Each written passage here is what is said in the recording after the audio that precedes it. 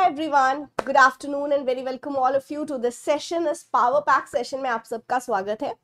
Myself Gulshan Akhtar your paper one faculty at P W and आज के इस session में हम करने वाले हैं पूरे पेपर वन का practice that means paper one के यूनिट वन से लेके टेन तक का हम सारा प्रैक्टिस करेंगे इस सेशन में, जो कि होगा दो घंटे का।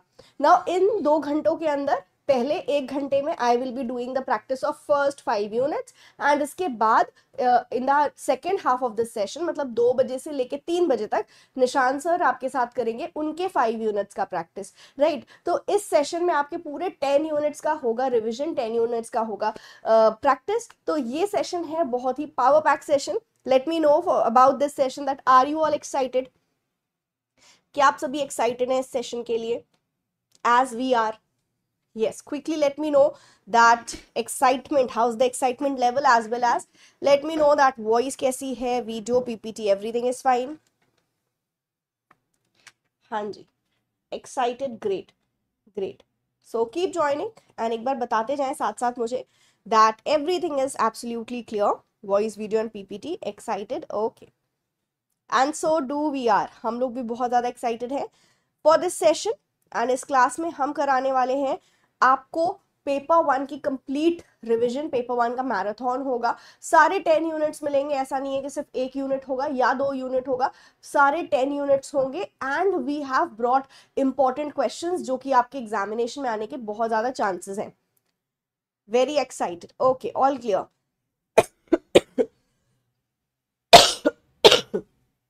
चलो तो करते हैं फिर सेशन को स्टार्ट यस yes. करते हैं, फिर हम सेशन को स्टार्ट और करते हैं पेपर वन के फाइव यूनिट्स ये क्वेश्चंस होंगे as I am saying practice करेंगे हम, है ना? चले, करते हैं हम प्रैक्टिस फाइव यूनिट्स को और अभी मैं आपको प्रैक्टिस कराने वाली हूँ कौन कौन से यूनिट्स जल्दी से एक बार देखते हैं हम कौन कौन से यूनिट्स अभी प्रैक्टिस करेंगे.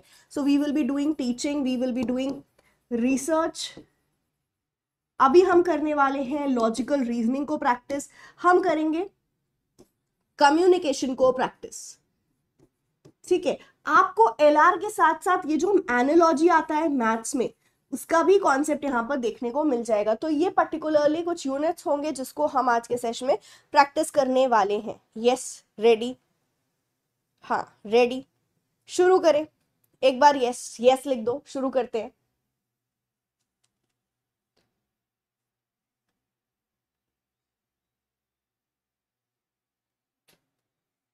यस यस रेडी ओके चलो ग्रेट लेट्स स्टार्ट शुरू करते हैं आज के सेशन को विथ वेरी फ़र्स्ट क्वेश्चन सबसे पहला क्वेश्चन आएगा आपके स्क्रीन पे और आपको मुझे उस क्वेश्चन को पढ़ के आंसर करना है। आप जैसे ही आंसर करने लगोगे, मैं यहाँ पे पोल स्टार्ट कर दूँगी और वो जो पोल है, आप कमेंट्स में जो भी आंसर कर रहे हो पोल उस आंसर को पिक कर लेगा और क्वेश्चन के एंड में हम देखेंगे कि कितने लोगों ने उस क्वेश्चन का सही आंसर किया है।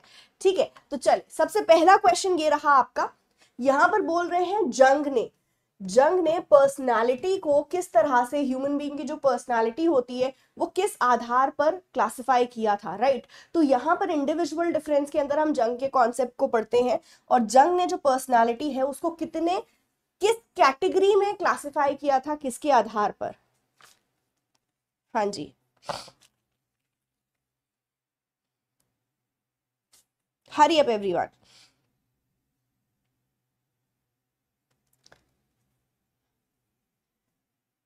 आंसर करते जाए कमेंट में and the poll will be picking up your answer social है बॉडी बिल्ड है एनर्जी लेवल है या मूड है? Absolutely right I can see majority लोगों ने आंसर किया है ए जो कि करेक्ट है. जंग ने सोशल सोशल कैरेक्टरिस्टिक के बेसिस पे पर्सनालिटी को क्लासिफाई किया था into three classes extrovert introvert या एम्बीवर्ट एक वो लोग होते हैं जो बहुत ज़्यादा सोशल होते हैं दैट इज़ एक्सट्रोवर्ट वाली कैटेगरी एक जो सोशल नहीं होते हैं they are introvert and balance of the two की वो एक्सट्रोवर्ट भी बहुत ज़्यादा नहीं है या इंट्रोवर्ट भी बहुत ज़्यादा नहीं है बट बैलेंस है तो दैट इज़ एम्बीवर्ट तो सोशल कैटेगरी के बेसिस पे उन्होंने क्लासिफाई किया था ह्यूमंस को. Now we'll come on to the next question learning through informal education informal education अनौपचारिक शिक्षा के माध्यम से जो हम सीखते हैं, वो क्या कहलाता है? ओपन लर्निंग फॉर्मल इंसाइटफुल या learning by chance that is incidental learning तो इसका आंसर क्या होगा? Very quickly everyone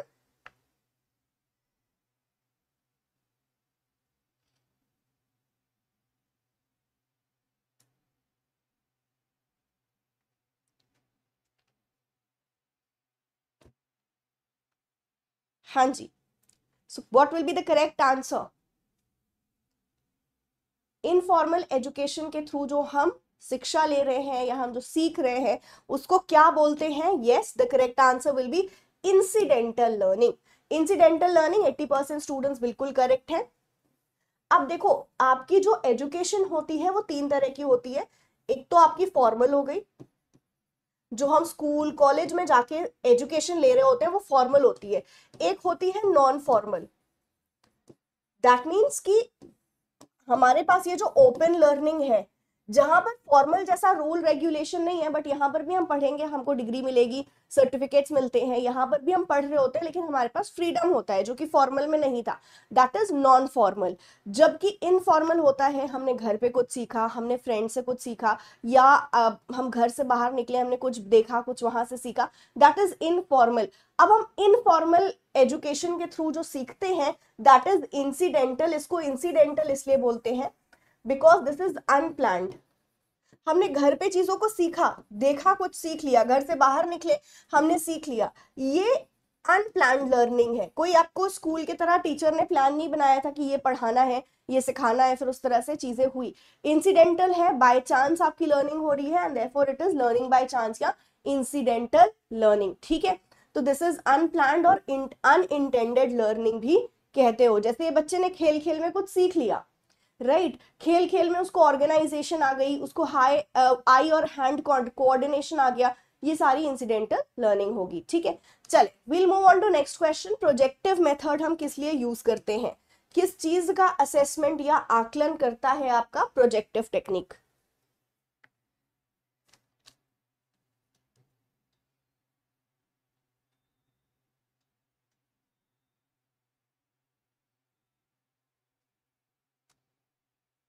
Yes, very quickly, everyone.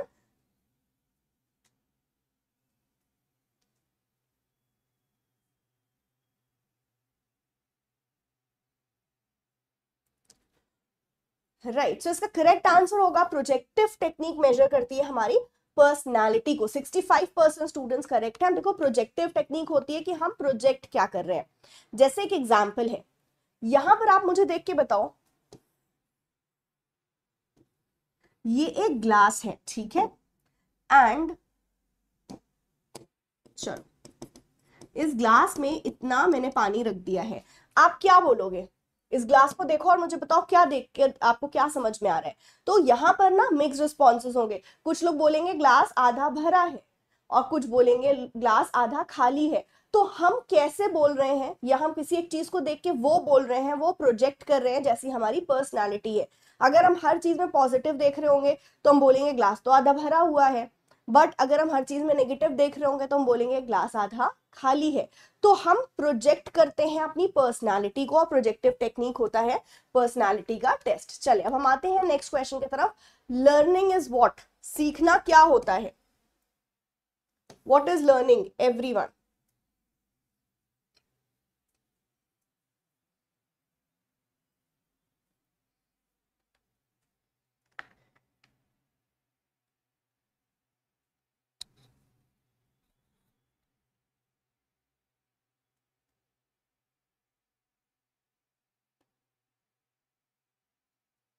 हाँ जी, एक बजे बिकॉज़ आज एक स्पेशल सेशन है। चले, जल्दी जल्दी। लर्निंग क्या है? सो करेक्ट आंसर इसका होगा। मैं देख रही हूँ आंसर में बहुत से लोगों ने ए बोला है, बहुत सी बोल रहे हैं बी बोल रहे हैं। Correct answer will be option number C 22 percent students ने ही सिर्फ़ आंसर किया है। देखो, अब बताती हूँ मैं।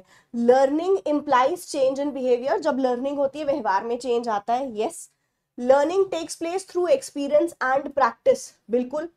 प्रैक्टिस करोगे तो आपकी लर्निंग होगी या एक्सपीरियंस आपने कोई भी चीज़ करी, उससे लर्निंग होती है। That is right also implies change due to growth and maturation क्या learning is a change due to growth and maturation नहीं।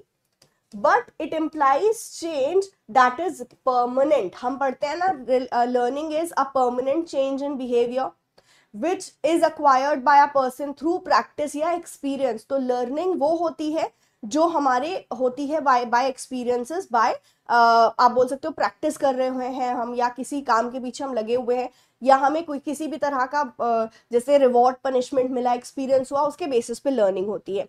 अब ऑप्शन नंबर सी क्यों नहीं है? ग्रोथ या मेच्योरेशन से क्या हो रहा है? हमारे अंदर चेंज आ रहा है, हम मेच्योर हो रहे हैं।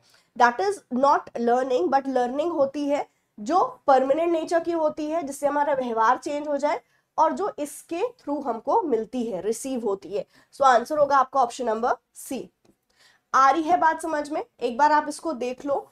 Take a screenshot of this की लर्निंग क्या है? परमानेंट चेंज है बिहेवियर में, जो कि एक्सपीरियंस से होता है। हम बोलते हैं, हमने कोई चीज़ सीखी और सीखी हमने अपने एक्सपीरियंसेस से, अनुभव से, वो लर्निंग है। ठीक है? पार्टिसिपेट आपको नहीं करना है। नहीं लर्निंग परमानेंट चेंज होती है। अच्छा अब दूसरी चीज़ आप देखो पोल में आपको कुछ नहीं करना है। सिंपल जो आपको आंसर है, समझ में आ रहा है, उसको कमेंट्स में लिखो, हमारा पोल उसको पिकअप कर लेगा। Learning is a permanent change in behaviour ठीक है? इंप्लाइज चेंज लर्निंग का मतलब है लर्निंग का मतलब है बदलाव। हमारे अंदर चेंज आता है, तभी तो लर्निंग है। आपके थिंकिंग में चेंज आ गया आपकी नॉलेज में चेंज आ गया that is what learning is ठीक है? तो it is a permanent change relatively permanent change और uh, इसको हम बोलते हैं जब हम कोई भी चीज़ एक्सपीरियंस कर रहे होते हैं तो वो हमारा क्या है? वो हमारा लर्निंग होता है. हिंदी भी है इसका भी स्क्रीनशॉट ले लो एंड चले. Let's move on to next question id ego और सुपर ईगो का कॉन्सेप्ट हमें किसने दिया था? सो so, यहाँ पर आपको अलग अलग साइकोलॉजिस्ट के नाम दिए हैं आपको बताना है इड का कॉन्सेप्ट ईगो का और सुपर ईगो का कॉन्सेप्ट किसने दिया हुआ था?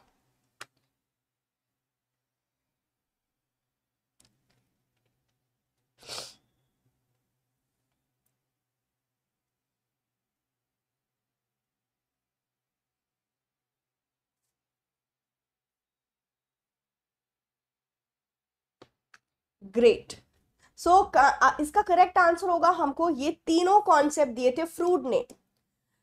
फ्रूड ने हमें कॉन्सेप्ट ऑफ़ इड ईगो और सुपर ईगो दिया था इनकी पर्सनालिटी थ्योरी में। ये इड को बोलते हैं कि ये अनकॉन्शियस हमारा स्टेट है, जबकि ये हमारा सब कॉन्शियस होता है एंड ये कॉन्शियस होता है। इड होता है एक तरह से कि हमें इंस्टेंट ग्रेटिफिकेशन चाहिए, हमें खुशी चाहिए और खुशी के लिए हम वो काम करने के लिए बिल्कुल तात्पर्य रहेंगे। लेकिन एक ईगो होता है हमारे अंदर, जो एक रेफरी का काम करता है। ईगो हमें हर कुछ नहीं करने देता जिससे हमें खुशी मिले बट ईगो एक तरह का रेफरी का काम करता है क्या ये सही है, करना ज़रूरी है। एंड फिर अगर वो करना ज़रूरी है तो फिर वो हमें चैनलाइज करता है कि ठीक है, कर लो। लेकिन अगर वो चीज़ ज़रूरी नहीं है तो फिर ईगो हमें रोकता है रेफरी की तरह। एंड सुपर ईगो कंप्लीटली हमारा कॉन्शियस होता है। हम बहुत ज़्यादा सोच समझ के मॉरल प्रिंसिपल्स लगा के कोई काम कर रहे होते हैं। तो ये जो पर्सनैलिटी थ्योरी है हमारी फ्रूड की पर्सनालिटी थ्योरी के अंदर उन्होंने हमारी पूरी पर्सनालिटी को तीन डोमेन्स में क्लासिफाई किया id ego and super ego right ये कहते हैं हमारी पर्सनालिटी तीन एलिमेंट से बनी हुई है which is id ego super ego id हमारा क्या होता है? प्रिमिटिव पार्ट होता है पर्सनालिटी का अनकॉन्शियस होता है बर्थ से हमारे अंदर प्रेजेंट होता है और ये प्लेजर प्रिंसिपल पे काम करता है। मतलब इसको सिर्फ़ प्लेजर चाहिए, इसको सिर्फ़ सुख चाहिए, जहाँ से हमें सुख मिलेगा एड बोलेगा, वो कर लो।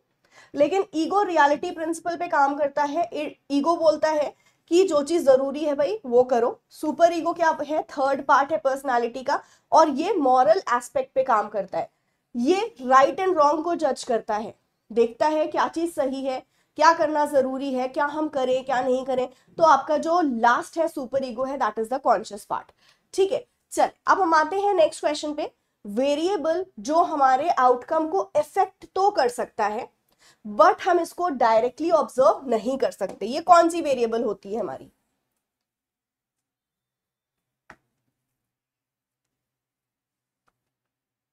यस yes, जल्दी जल्दी.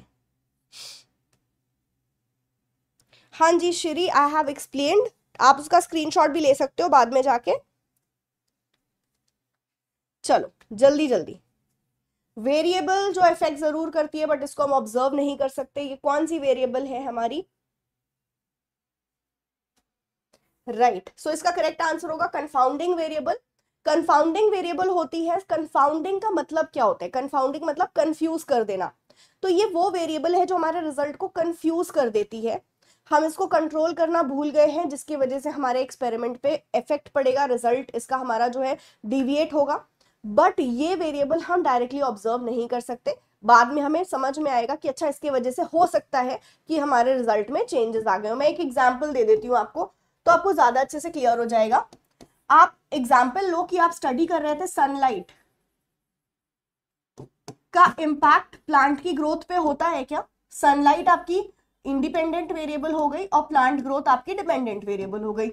बाकी आपको सारी चीज़ें कंट्रोल करनी थी, एक जैसी रखनी थी। सिर्फ़ सनलाइट को छोड़ के बाकी सारी चीज़ें हमें दोनों प्लांट को एक जैसा देना था।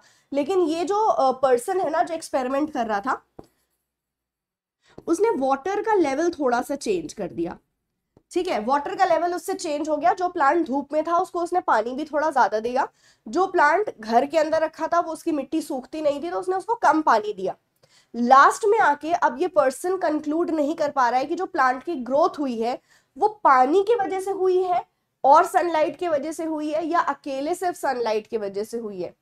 तो आप देखो कंफाउंडिंग वेरिएबल हम ऐसे ऑब्ज़र्व नहीं कर पा रहे कि क्या है, हमारा रिज़ल्ट किसके वजह से है? बट रिज़ल्ट को इफ़ेक्ट ज़रूर कर रहा है ना? तो वो वेरिएबल जो हमारे रिज़ल्ट को इफ़ेक्ट कर दे बट हम इसको डायरेक्टली ऑब्ज़र्व नहीं कर सकते that is known as a confounding variable confounding variable वो वेरिएबल होती है जिसको कंट्रोल करना चाहिए, लेकिन रिसर्चर कंट्रोल करना भूल गया। ठीक है next question question number seven everyone key process in designing the experimental study तो एक्सपेरिमेंटल रिसर्च स्टडी आप बना रहे हो मतलब आपको एक्सपेरिमेंट करना है। अब एक्सपेरिमेंटल रिसर्च के की प्रोसेस क्या होंगे क्या क्या करोगे, क्या नहीं करोगे, उसको आपको मुझे ऑर्डर में लगा के बताना है। ठीक है मॉडरेटर वेरिएबल जो एक्सपेरिमेंट के प्रभाव को घटा बढ़ा सकता है एक्सपेरिमेंटल रिसर्च एक क्लास मैंने ली थी, जिसके अंदर मैंने पूरी थ्योरी पढ़ाई है। आप यूट्यूब की प्लेलिस्ट में जाके वहाँ से देख सकते हो, ठीक है? चले, इस क्वेश्चन को आंसर करें, फिर मैं हिंदी दिखाती हूँ।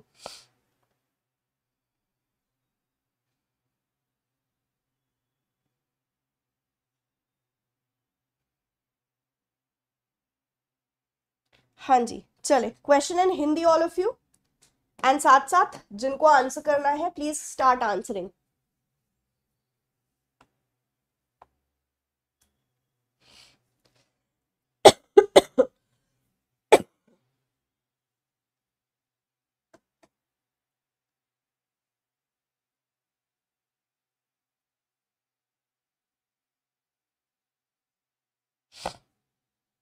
so so, majority ने बोला है होगा ऑप्शन क्या आपका सी ठीक है चले देखते हैं।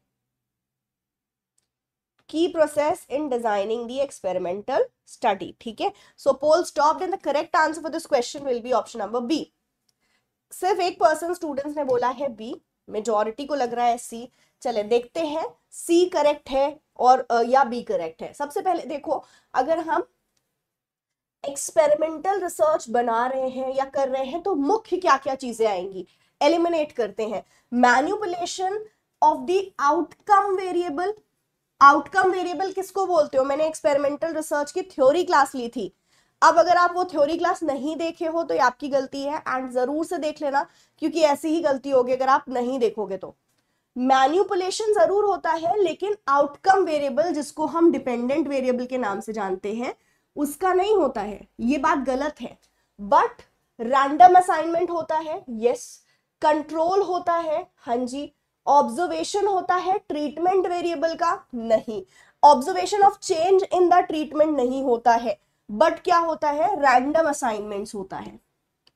तो मैन्युपुलेशन ऑब्जर्वेशन ज़रूर होता है, लेकिन मैन्युपुलेशन होता है इंडिपेंडेंट वेरिएबल का और ऑब्जर्वेशन होता है आपका। डिपेंडेंट वेरिएबल का ठीक है?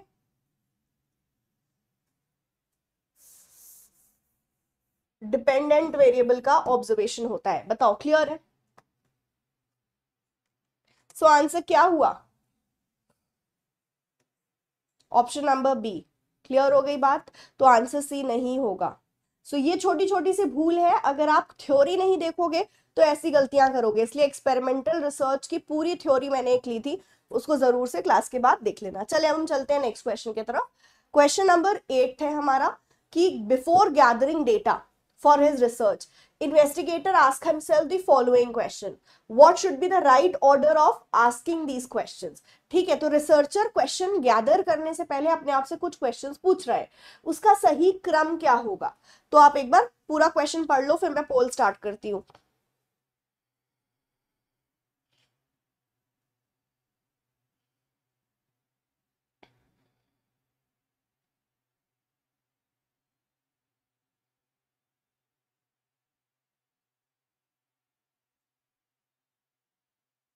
हाँ जी everyone question number eight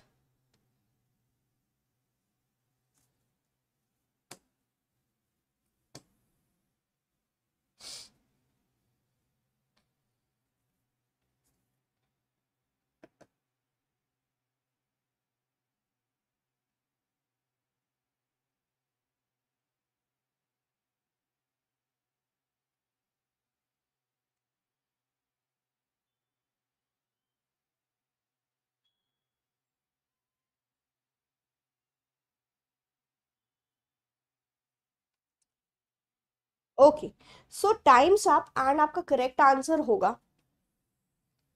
Option number C so we have sixty percent students correct बिल्कुल. देखो करेक्ट आंसर होगा सी सबसे पहले किस तरह की इंफॉर्मेशन चाहिए हमको? अगर हम डेटा कलेक्ट करने जा रहे हैं तो सबसे पहले यही सोचेंगे ना, किस तरह की इंफॉर्मेशन चाहिए? दूसरा होगा कि किन से वो इंफॉर्मेशन हम लेंगे? अब देखो, मेरी किसी भी तरह की इंफॉर्मेशन हो सकती है, उसके बाद क्वेश्चन बनाने से पहले वो लोग कौन है जिनसे मुझे डेटा लेना है? क्या वो एजुकेटेड हैं अनएजुकेटेड हैं? तो पहले सारी चीज़ें सोचोगे, फिर उनके लिए क्वेश्चन बनाना शुरू करोगे। इनको कैसे सैंपल करोगे और फिर डेटा उनसे कलेक्ट कैसे करोगे? तो ये सारा आपका एक सीक्वेंस होगा। सबसे पहले इंफॉर्मेशन कैसी, वो लोग कैसे हैं उनसे कैसे सैंपल सेलेक्ट किया जाएगा और फिर डेटा कैसे कलेक्ट करेंगे? This will be the sequence तो आंसर होगा आपका ऑप्शन नंबर सी चले क्वेश्चन नंबर नाइन्थ इन्वेस्टिगेटर ने टाइप टू एरर किया है तो वो कौन सा होगा? टाइप टू एरर अगर कर रहा है तो इनमें से वो क्या करेगा?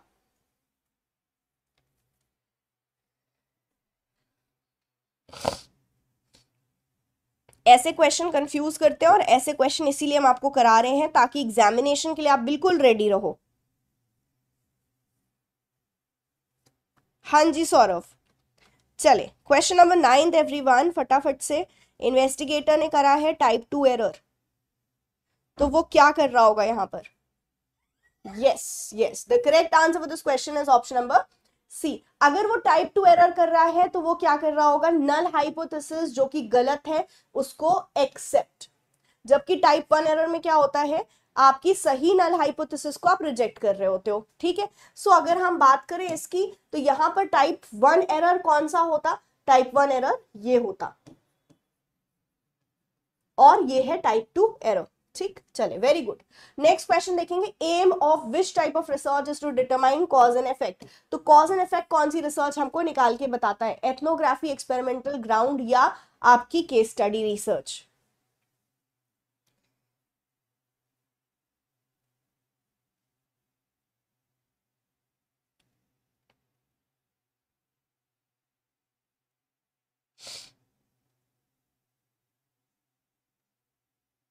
aim of which type of research is to determine the cause and effect. So, yes, इसमें से सारी रिसर्च में से सिर्फ़ एक ही रिसर्च है which is your experimental research जिसका, जिसमें हम कॉज एंड इफ़ेक्ट पता लगाते हैं। ग्राउंडेड में थ्योरी बनाते हो थ्री परसेंट वाले जो भी ग्राउंडेड बोल रहे हो ग्राउंडेड रिसर्च के अंदर हम थ्योरी डेवलप करते हैं कॉज एंड इफ़ेक्ट नहीं पता लगाते हैं। केस स्टडी में हम किसी केस को इन डेप्थ एनालिसिस करके उस केस का पता लगाते हैं, क्या हुआ था, क्या है वो case everything now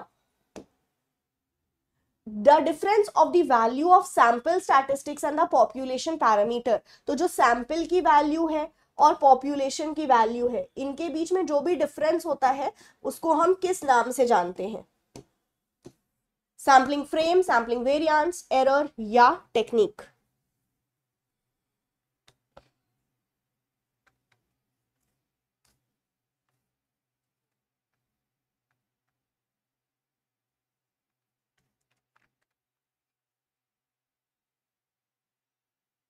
yes. Difference between the value of sample statistics और population.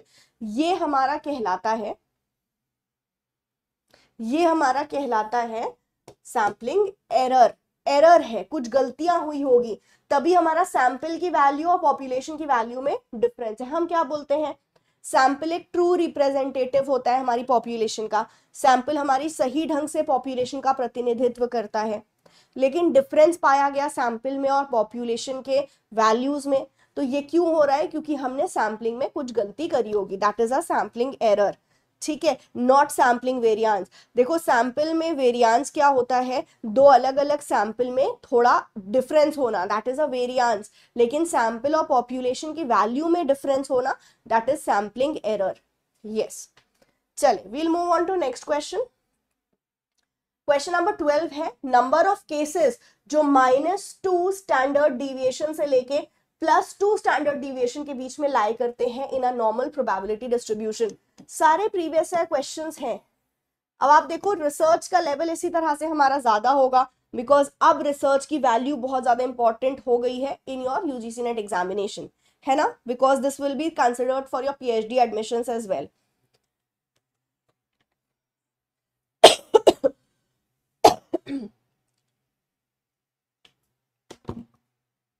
yes everyone तो क्या होगा इसका correct answer right so majority ने बोला है आंसर होना चाहिए हमारा। सी पोल मैंने स्टार्ट नहीं किया था तो और either I not take the poll for this question because poll काफ़ी देर में मैंने स्टार्ट किया तो कोई बात नहीं। करेक्ट आंसर इसका होगा सी अगर मैं बात करूँ नंबर ऑफ़ केसेस जो हमारे लाए करते हैं वन माइनस वन से प्लस वन स्टैंडर्ड डिविएशन के बीच में तो वो कितने होते हैं? सिक्सटी एट ठीक है? जबकि माइनस टू से प्लस टू स्टैंडर्ड डिविएशन के बीच में 95.44 और उसके ऊपर 99 तो हम याद कैसे करेंगे? 68 98 और 99 परसेंट रूल ठीक ninety sixty eight ninety five 99 percent rule इसके पॉइंट्स भी याद कर लेना, क्योंकि कभी कभार आपको क्वेश्चन में पॉइंट से ही कंफ्यूज कर देंगे। ठीक है? तो क्या होगा आपका पॉइंट 68.2 95.4 और यहाँ हो जाएगा थ्री सेवन थ्री इसको पॉइंट्स इसलिए आप याद रखोगे क्योंकि एग्जामिनेशन में कभी कभी हो सकता है 95.55 दे दे 95.12 दे दे। तो just remember two four and seven ठीक है? तो ये ज़रूर से याद कर लेना। यस yes, ये ज़रूर से याद कर लेना। क्या है हमारा? 68, 95, 99, 2, 4, 7 दैट्स इट चले। आते हैं नेक्स्ट क्वेश्चन की तरफ़। यहाँ पर यहाँ पर आपसे बोल रहा है काइनेसिक्स जो कि कम्युनिकेशन का पार्ट है कम्युनिकेशन यूनिट का पार्ट है kinesics is a type of non verbal communication जिसके जिसके क्या क्या फीचर्स होंगे मीनिंग होगा आप कह सकते हो। चलो स्विचिंग ऑन द पोल नहीं, अभी हिंदी बची है, हिंदी पढ़ लेंगे, फिर हम पोल स्टार्ट करेंगे, ठीक है? चलो। क्वेश्चन कैसे होगा 68 वाला? तो वो पूछेगा माइनस वन स्टैंडर्ड डिविएशन से प्लस स्टैंडर्ड डिविएशन के बीच में कितना आएगा? चलो question in Hindi guys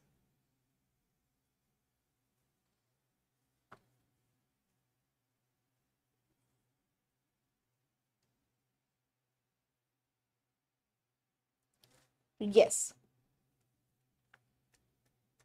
Now i'll switch on the poll. आप लोग आंसर करते जाओ कमेंट पे. Poll will be picking up answers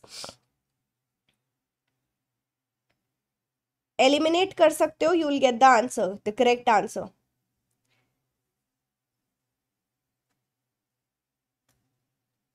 great great everyone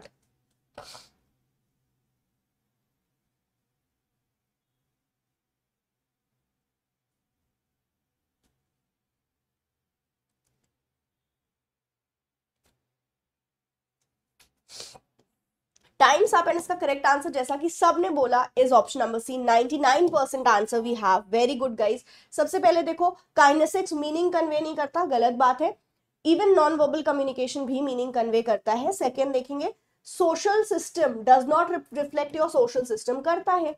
आप हाथ जोड़ के ग्रीट कर रहे हो, आप ऐसे ग्रीट कर रहे हो it depicts your social system as well कि आप किस समाज से आ रहे हो। तो ये भी बात गलत है और ए और बी को हम एलिमिनेट कर देंगे तो आप देखो ए बी को एलिमिनेट करोगे, आपको आंसर मिल जाएगा। ठीक है? करेक्ट आंसर हो गया बॉडी मूवमेंट से मीनिंग होती है because kinesics is all about movement मैं कैसे हाथ फैला रही हूँ, मैं कैसे बॉडी मूव कर रही हूँ, इससे एक मीनिंग जा रही है। सब्जेक्ट टू सिस्टमैटिक एनालिसिस हम एनालाइज कर सकते हैं कि क्या बोला गया और कैसे बोला गया, उससे क्या मतलब निकल के आ रहा है। उसके सोशल सिस्टम का भी पता लगता है। चल, अब हम आते हैं next question question number fourteen symbols provide meaning when used in what symbol किस तरह की मीनिंग प्रोवाइड करता है? जल्दी करेंगे हम। We have lots of questions to solve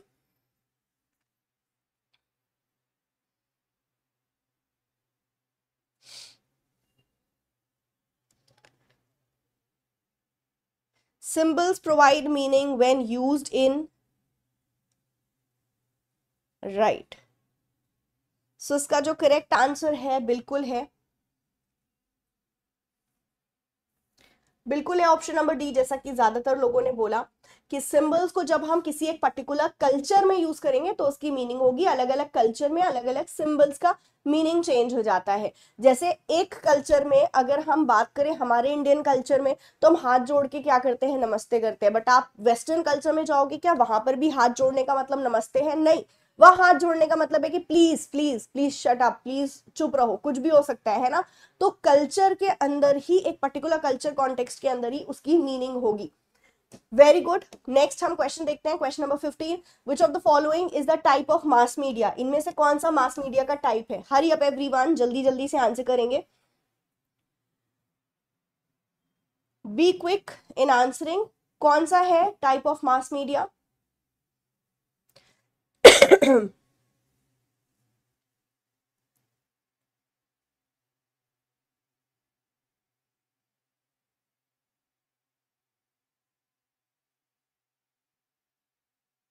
हाँ जी बिल्कुल।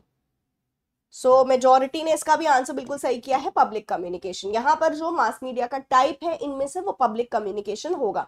पब्लिक कम्युनिकेशन में भी हम बहुत लार्ज ऑडियंस को एड्रेस कर रहे होते हैं बस डिफरेंस यहाँ पर ये यह होता है कि मीडिया नहीं होता है। ये स्पीकर है तो ये आपकी ऑडियंस है बट इनके बीच में कोई मीडिया इन्वॉल्व नहीं होता है। चले अब हम आते हैं नेक्स्ट क्वेश्चन की तरफ़। Example of ethical dilemma facing journalist तो जर्नलिस्ट किन किन एथिकल डायलेमा का फेस करते हैं, उनको फेस करना पड़ता है, इनमें से वो क्या होगा?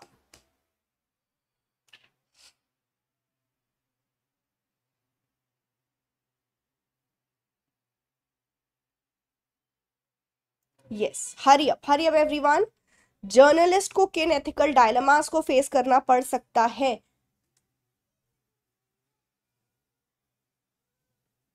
Right right so yes majority have guessed it right correct answer होगा डी 99 परसेंट स्टूडेंट्स बिल्कुल सही है. सोर्स को प्रोटेक्ट करना सेंसिटिव टॉपिक को रिपीट रिपोर्ट करना और कॉन्फ्लिक्ट को अवॉइड करना सारा।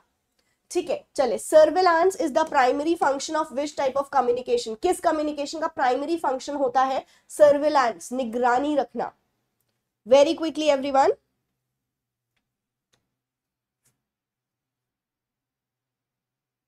हाँ जी भुनेश बिल्कुल। चले जल्दी जल्दी से आंसर करते जाएँ करेक्ट आंसर क्या होगा? क्वेश्चन नंबर सेवनटीन का। सर्विलांस किसका प्राइमरी फ़ंक्शन है? ग्रुप इंटर इंट्रा या इनमें से कोई नहीं।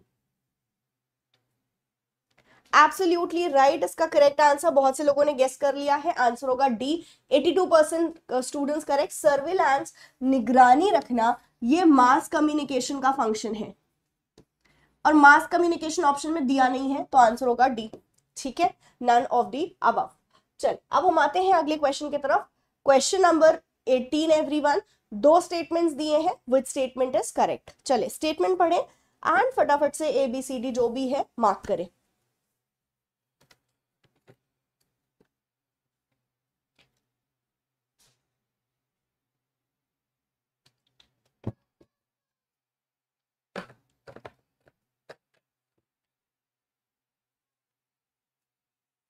Yes. Question number 18th, everyone.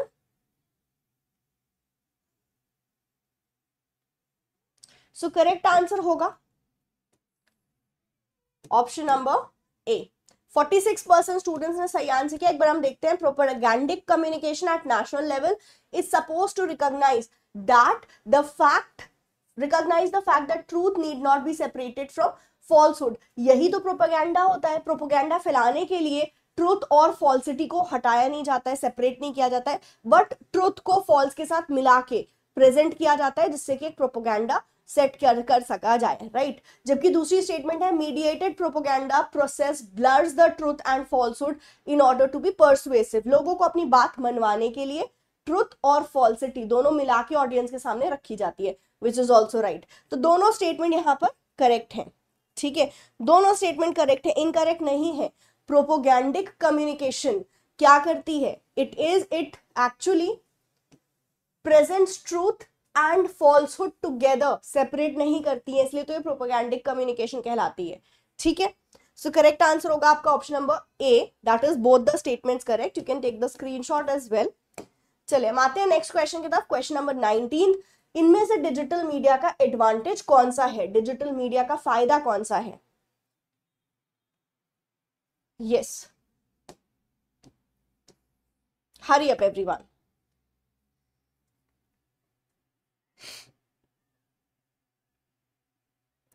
mass communication क्योंकि मीडिया आपका फोर्थ पिलर ऑफ़ डेमोक्रेसी कहलाता है। निगरानी रखने का काम मीडिया का होता है कि क्या हो रहा है, क्या नहीं हो रहा है। हाँ जी so advantage of digital media guys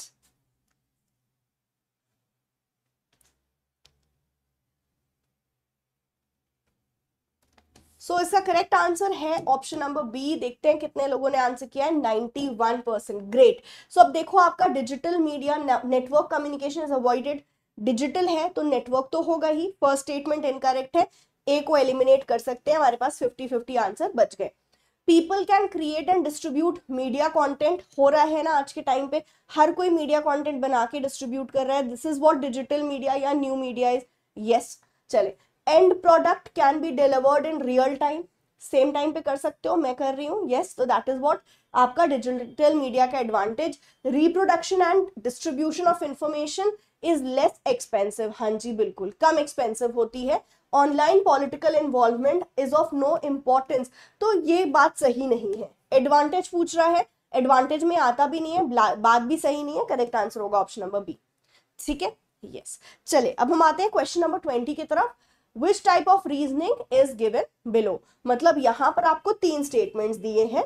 तो आपको मुझे बताना है यहाँ पर कौन सी रीजनिंग फॉलो हो रही है। ए बी सी या डी सो काफ़ी अच्छा क्वेश्चन है और बहुत इजी क्वेश्चन है।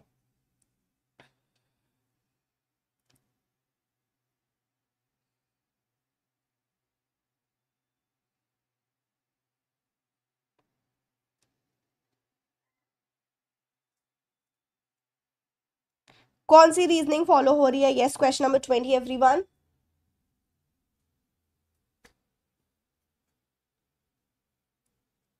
हाँ जी सो करेक्ट आंसर इसका होगा। यहाँ पर हमारी ऑल से हम आ रहे हैं पर्टिकुलर की तरफ़। मतलब जी से पी आ रहे हो। डी जी से पी किसके अंदर आते हो? डिडक्टिव रीजनिंग के अंदर आते हो।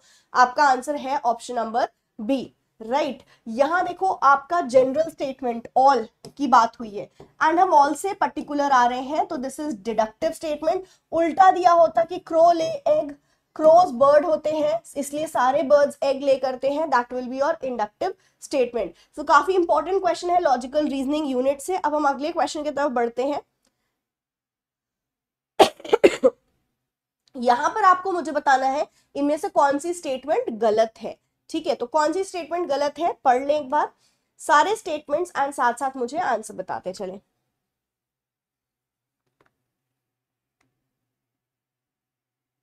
इस पर मैं ऑलरेडी क्लास ले चुकी हूँ। आप लोग एक बार लॉजिकल रीजनिंग इंट्रोडक्शन की क्लास चेक करना।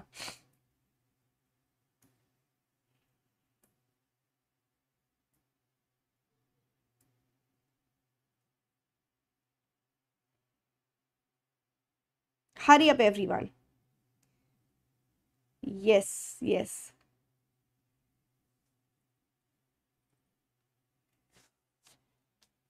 So i'll just wait. Already poll stop हो चुका है बट मैं वेट करूँगी थोड़ा सा। लोग आंसर कर रहे हैं? यस सो so, यहाँ मुझे जो आंसर मिल रहा है मेजोरिटी की तरफ़ से वो है B but the correct answer is C मैं सोच रही थी कि एक आध आंसर शायद मिल जाए, एक एक आधे का आंसर आ जाए कि भाई सी होगा।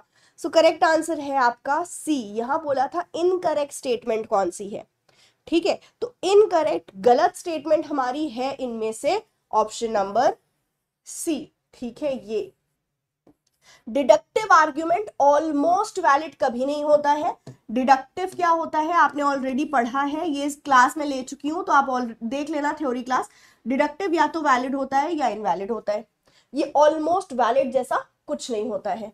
बस ये गलत है। अब बाकी सही कैसे है, एक बार चेक करो।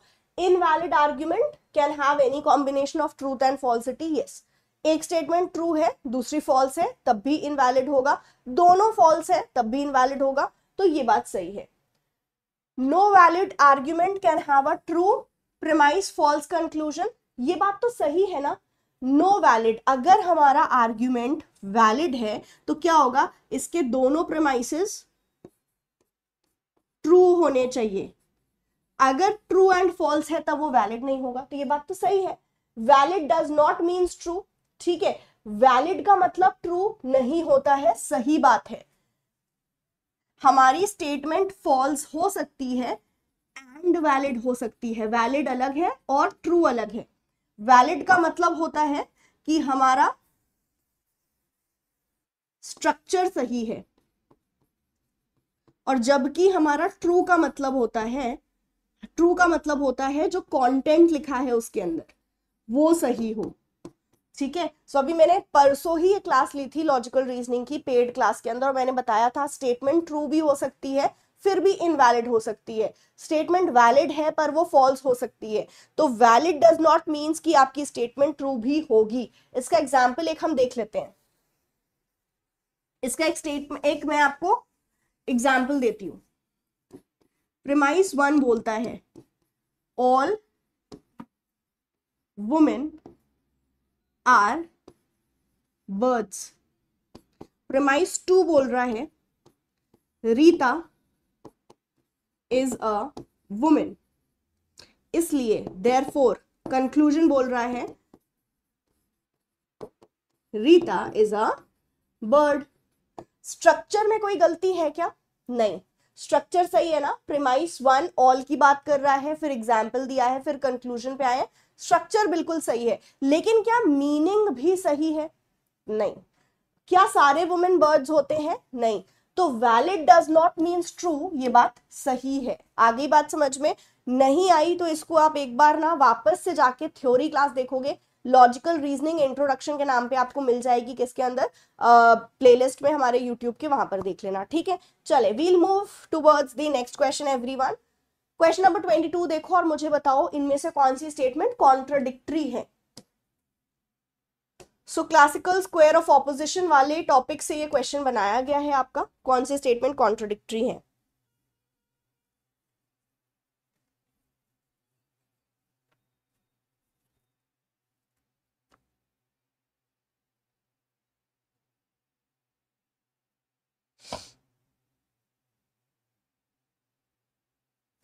हाँ जी एवरीवन क्विकली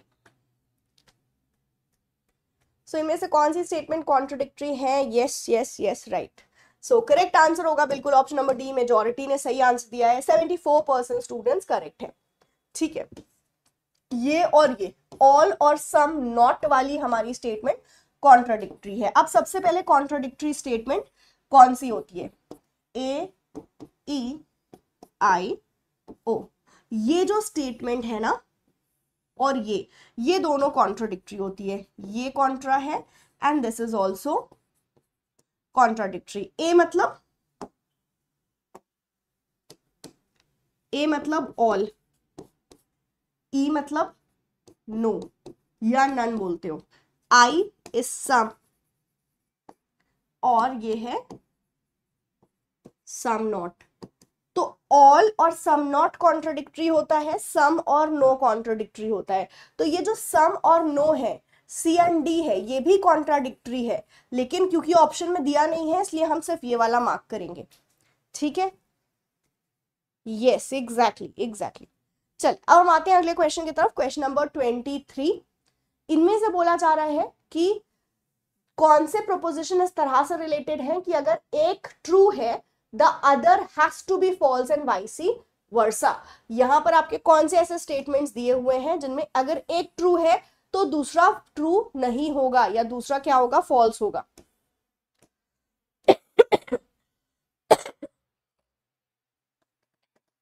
ये समझ में नहीं आता। मैं इसके ऊपर एक थ्योरी क्लास बहुत जल्द लेने वाली हूँ। तो just stay tuned guys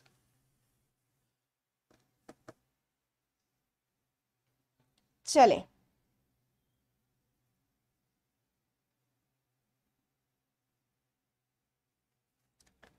so very quickly अगर एक ट्रू है तो दूसरा फॉल्स होगा। इनमें से कौन सी वो स्टेटमेंट्स हैं? या राइट देखो, अभी हमने जो पढ़ा, ये वाला, ये जो कॉन्ट्राडिक्ट्री होती है कॉन्ट्राडिक्ट्री स्टेटमेंट का मतलब ही होता है कि अगर एक ट्रू है तो दूसरी वाली ट्रू नहीं हो सकती। जैसे अगर हम सब के लिए ऑल को बोल रहे हैं ट्रू है तो सम नॉट ट्रू नहीं हो सकता। हो सकता है क्या? मैं बोलू सारे के सारे इस तरह के हैं। तो आप बोलो, नहीं, इनमें से कुछ ऐसे नहीं है। तो फिर कोई एक ही बात सही हो सकती है, या तो सारे ऐसे हैं, या कुछ ऐसे नहीं है। दोनों साथ में एक साथ ट्रू नहीं हो सकता। तो जो कॉन्ट्रोडिक्टरी स्टेटमेंट है, वो ऐसी होती है कि अगर ये ट्रू है तो ये फॉल्स ही होगी। इसी तरह से ये भी। सम एंड नो ठीक है?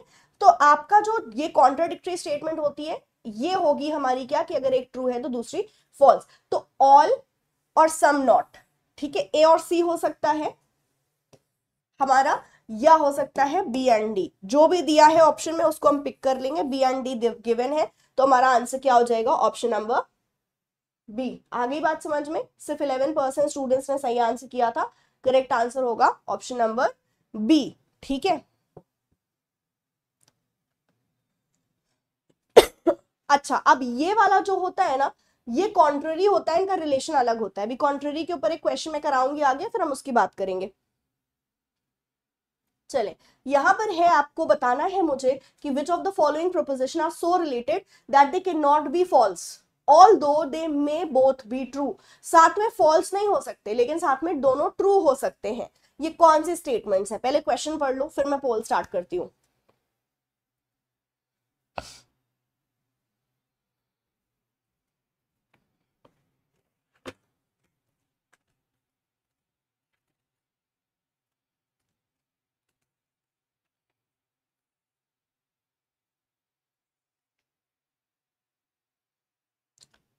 Switching on the poll, guys. Hope everyone is ready for this question चल इसका आंसर करें। कौन सी स्टेटमेंट इस तरह से रिलेटेड है कि साथ में फॉल्स नहीं हो सकती हैं, लेकिन ट्रू हो सकती हैं?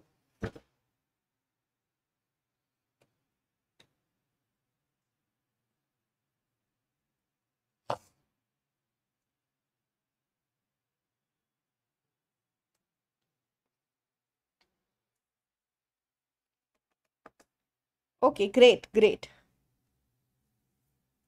poll stop and इसका जो करेक्ट आंसर होगा will be option number B 74 percent students ने बिल्कुल सही आंसर दिया है राइट right? अब देखो, ये आपका तो आपने कॉन्ट्रोडिक्ट्री तो समझ लिया कि हमारे ये स्टेटमेंट्स कॉन्ट्रोडिक्ट्री होते हैं, लेकिन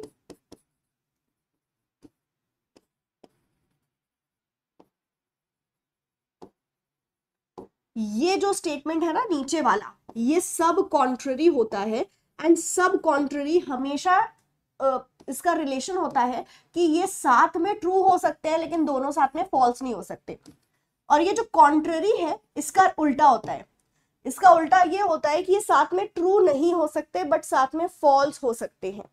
ठीक है? तो कॉन्ट्ररी का रिलेशन होता है they can not be true together but they can be false together जबकि सब कॉन्ट्ररी होता है कि they can be true together but can not be false तो अब हम यहाँ पर सम और सम को देखेंगे ए एंड बी आंसर हो गया बी आगे बात समझ में?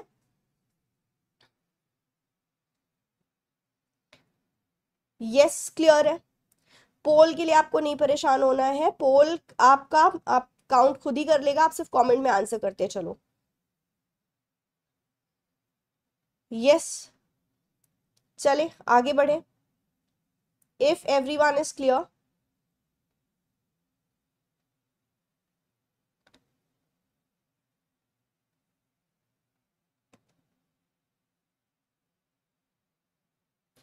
हाँ जी, चलो। Let's look at the next question question number आपको यहाँ पर दिया हुआ है twenty five can neither be both true nor be false together तो यहाँ बोल रहे हैं, ना साथ में ट्रू हो सकता है, ना साथ में फॉल्स हो सकता है। ये अपना अलग अलग कुछ भी हो सकता है, लेकिन साथ में नहीं हो सकता। चले तो इसका आंसर क्या होगा?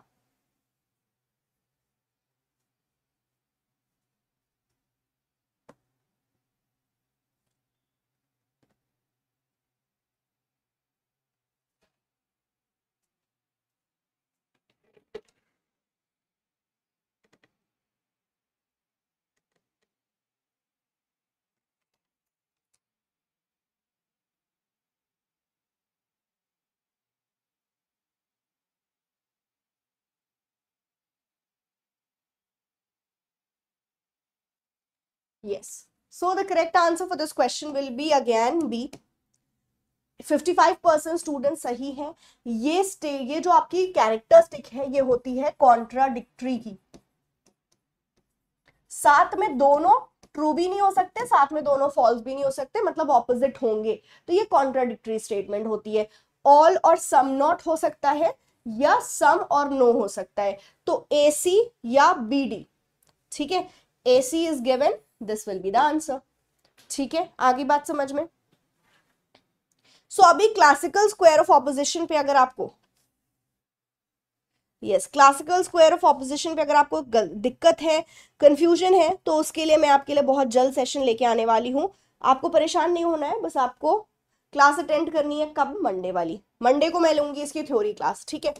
चले अब जैसा कि मैंने आपको बोला था मैं आपको वो टेन क्वेश्चंस जो कल के क्लास में हम नहीं कर पाए थे वो भी कराऊँगी। तो अब हम करते हैं वो टेन क्वेश्चन जो कल के सेशन में हमने नहीं किए थे टीचिंग एप्टीट्यूड के अंदर, ठीक है? क्वेश्चन नंबर थर्टी तक हमने कर लिया था। थर्टी वन से हमें क्वेश्चन को करना है सॉल्व तो I just quickly open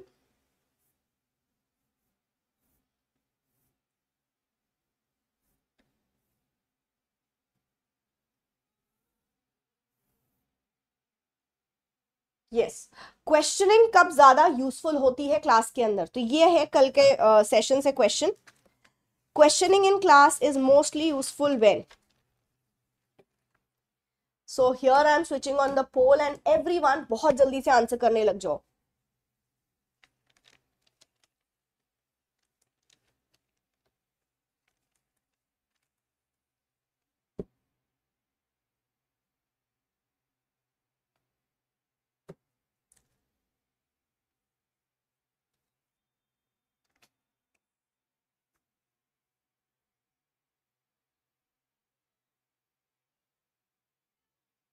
बिल्कुल the correct answer for this question will be option number A questioning करेंगे तो एक्टिव पार्टिसिपेशन होगा क्लास के अंदर। This is absolutely right so correct answer for this question is option number A very good आते हैं अगले question की तरफ़। टेक्निक जो टीचर यूज़ करता है बच्चों को पढ़ाने के लिए, उनमें से क्या क्या मतलब इन ऑप्शंस में से क्या क्या चीज़ें आएँगी? उन टेक्निक्स में से जो टीचर यूज़ करेगा क्लास के अंदर।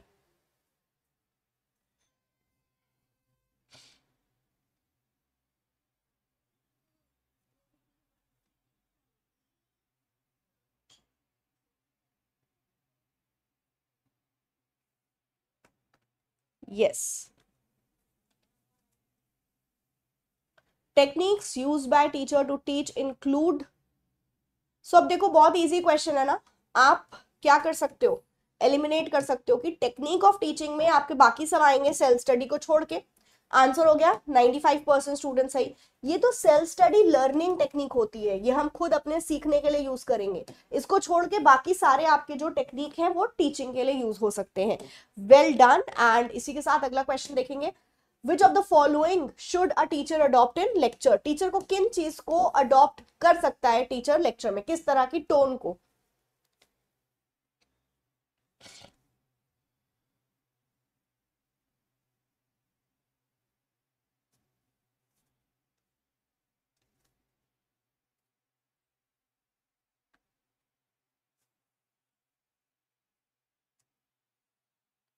किस तरह की टोन टीचर रखेगा? Precise low tone elongated moderate या precise high tone the correct answer for this question is अगर लेक्चर में दे रही हूँ तो लेक्चर में आपको मालूम है लार्ज नंबर ऑफ़ स्टूडेंट होते हैं।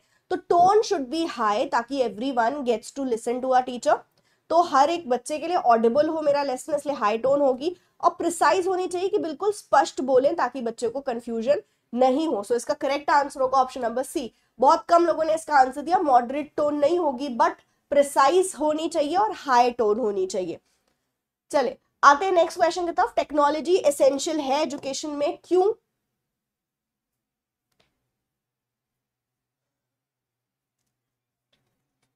Yes, technology is essential because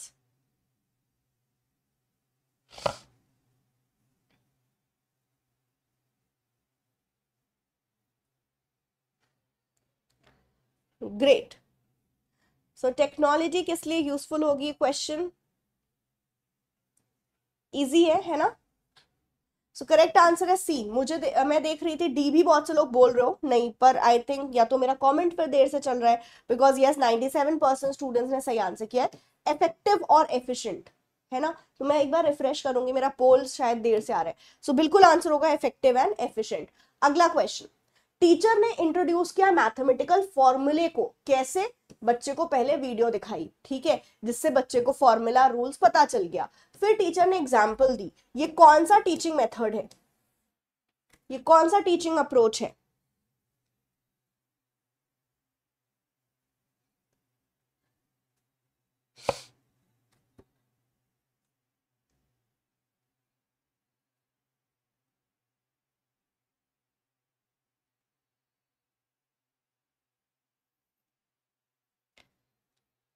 great so so, इसका करेक्ट आंसर बिल्कुल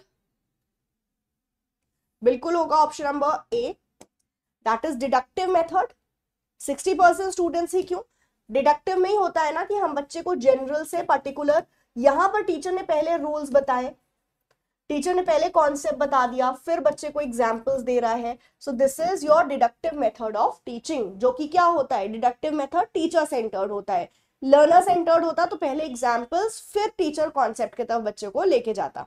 ठीक है? चले we'll move towards next question maximum participation during teaching is possible through which अगर मैं चाहती हूँ मैक्सिमम पार्टिसिपेशन हो मेरे क्लास में तो किस तरह से ये पॉसिबल है?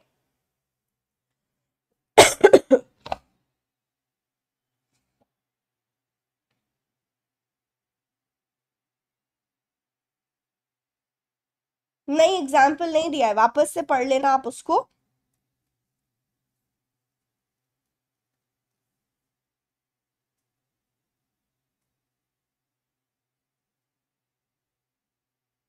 Yes so the correct answer for this question is maximum participation चाहते हो तो लर्नर सेंटर्ड मेथड का यूज़ करो। लर्नर सेंटर्ड मतलब इंडक्टिव आप मैक्सिमम पार्टिसिपेशन चाहते हो maximum participation is inductive method of teaching right क्योंकि जब हम मैक्सिमम पार्टिसिपेशन चाहेंगे तो बच्चों से एग्जाम्पल्स लेंगे बच्चों से हम टॉपिक को डिस्कस करेंगे फिर उनको रूल की तरफ़ लेके जाएँगे। सो so, अगर आप मैक्सिमम पार्टिसिपेशन चाहते हो तो learner centred method that is inductive को यूज़ करोगे नेक्स्ट क्वेश्चन आएँगे maximum participation of student is possible through which easy है फिर से आपको एलिमिनेट करना है and you'll get the answer discussion है ऑडियो विजुअल है लेक्चर है टेक्स्ट बुक मेथड है।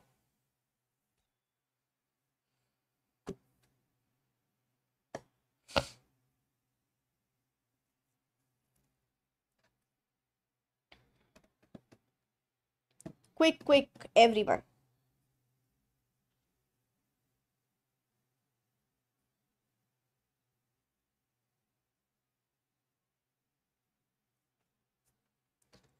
चलो करेक्ट आंसर होगा। मैक्सिमम पार्टिसिपेशन लर्नर सेंटर्ड इसमें लर्नर सेंटर्ड डिस्कशन मेथड है ओनली सो आंसर होगा आपका ऑप्शन नंबर ए सी क्यों लग रहा है?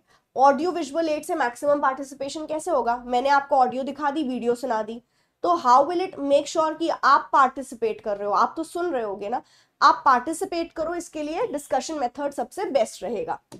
चले we'll move towards next discussion in class will be more effective if topic of discussion is what?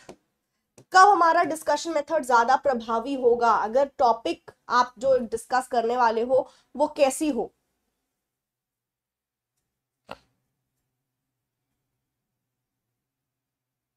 हाँ जी बिल्कुल बिल्कुल राइट इंडक्टिव में थ्योरी से आ, मतलब आप एग्ज़ाम्पल से थ्योरी की तरफ़ ले जाओगे।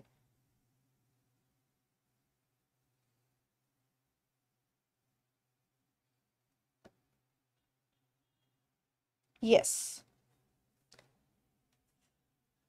the correct answer is अगर मैं डिस्कशन कराऊं आप ऐसे सोचो अगर मैं आपसे डिस्कशन कराने के लिए बोल रही हूँ तो वो टॉपिक अगर मैं आपको पहले से बता दूँगी तो आप प्रिपेयर्ड होगे उस टॉपिक के ऊपर फिर आप डिस्कस कर पाओगे। सो so, इसका आंसर क्या होगा? पहले से टॉपिक बच्चों को मालूम है तभी डिस्कशन ज़्यादा यूजफुल और बेनिफिशियल होगा। सो so, आंसर है option number D next which of the following is example of online method of teaching इनमें से online method of teaching example the easiest question for the day I think so है ना चले कौन बताएगा इसका answer example of online method of teaching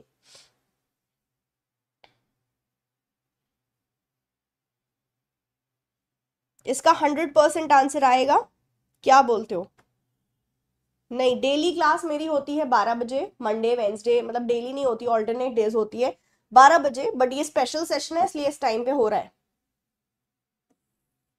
so so, yes yes, इसका answer बिल्कुल होगा सारे हैं ऑनलाइन मेथड्स ऑफ़ टीचिंग क्यों हंड्रेड परसेंट नहीं मिला मुझे? स्वयं भी है स्वयं प्रभा भी है मूक्स भी है। ये तीनों ऑनलाइन मेथड्स ऑफ़ टीचिंग हैं जो कि हम पढ़ते हैं। तो इसका hundred percent I expected but चलो कोई बात नहीं।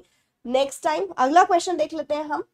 इनमें से आपको मुझे बताना है कि कौन सी स्टेटमेंट करेक्ट है सही कौन सी स्टेटमेंट है। चले, मैं क्वेश्चन आपको दिखा देती हूँ और आप मुझे फटाफट से पोल पे आंसर करने लग जाओ। Last question for the day आज का आखिरी क्वेश्चन है।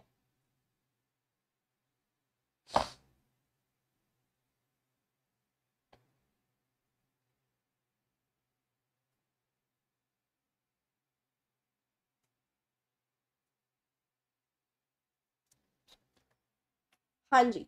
सो so, स्वयं के बारे में कौन सी स्टेटमेंट सही लिखी हुई है? तो बिल्कुल इसका आंसर होगा ऑप्शन नंबर डी स्वयं के बारे में सारी स्टेटमेंट्स यहाँ पे करेक्ट है। स्वयं को लॉन्च किया गया था to achieve three cardinal principles of education which is A Q access equity quality E learning online learning को प्रमोट करता है as well as lifelong learning की आपको अपॉर्चुनिटी देता है। तो all the option are correct over here so ये थे आज के कुछ क्वेश्चंस जो हमने करे। आई होप आपको क्वेश्चंस अच्छे लगे होंगे।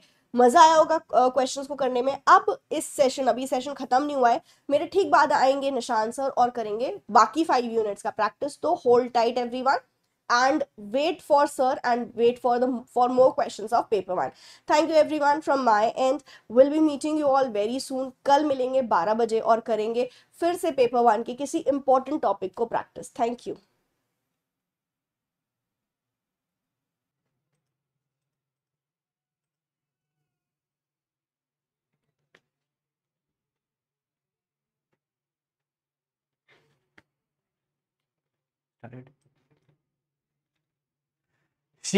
नमस्कार गाइज़ आज मैं निशांत कपूर एक बार फिर से आपके सामने, आपके अपने पीडब्ल्यू यूजीसी नेट में आपका स्वागत करता हूँ। और यहाँ पर मैं लेकर आया हूँ एक और बहुत ही शानदार सा सेशन बहुत सारे बच्चे जुड़ने चाहिए। और यहाँ पर हम एक एक करके कुछ बहुत बढ़िया, कुछ बहुत शानदार और जानदार सा माहौल बनाने वाले हैं। तो यहाँ पर बात होगी सर पेपर वन की। अभी आपने आधा सेशन देखा, अभी आधा सेशन बाकी है। और इस आधे सेशन में किस तरीके से और बढ़िया बढ़िया सवाल होंगे, यहाँ पर हम बात करेंगे। जी हाँ very good afternoon to everybody मेरी आवाज़ सभी तक पहुँच रही है गाइस एक बार सभी का यस आ जाए।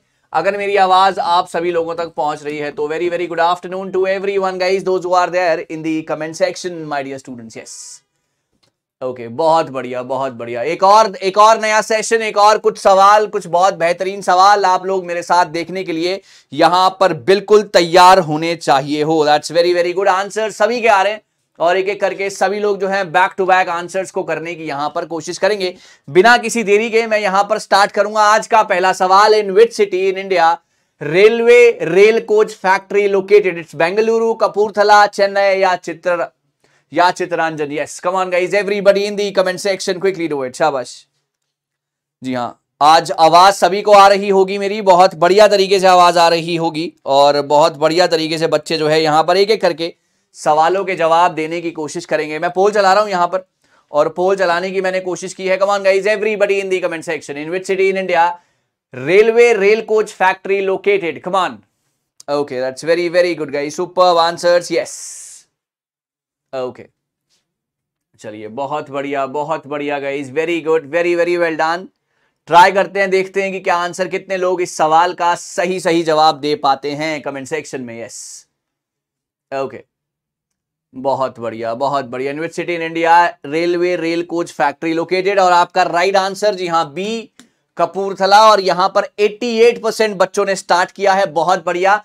करेक्ट आंसर जो है वो है इसका कपूरथला, और Kapurthala rail coach factory is a coach manufacturing unit for Indian railways located in state of Punjab. कहाँ पर है ये? जलंधर फिरोजपुर रेलवे लाइन पर। बहुत ही बढ़िया।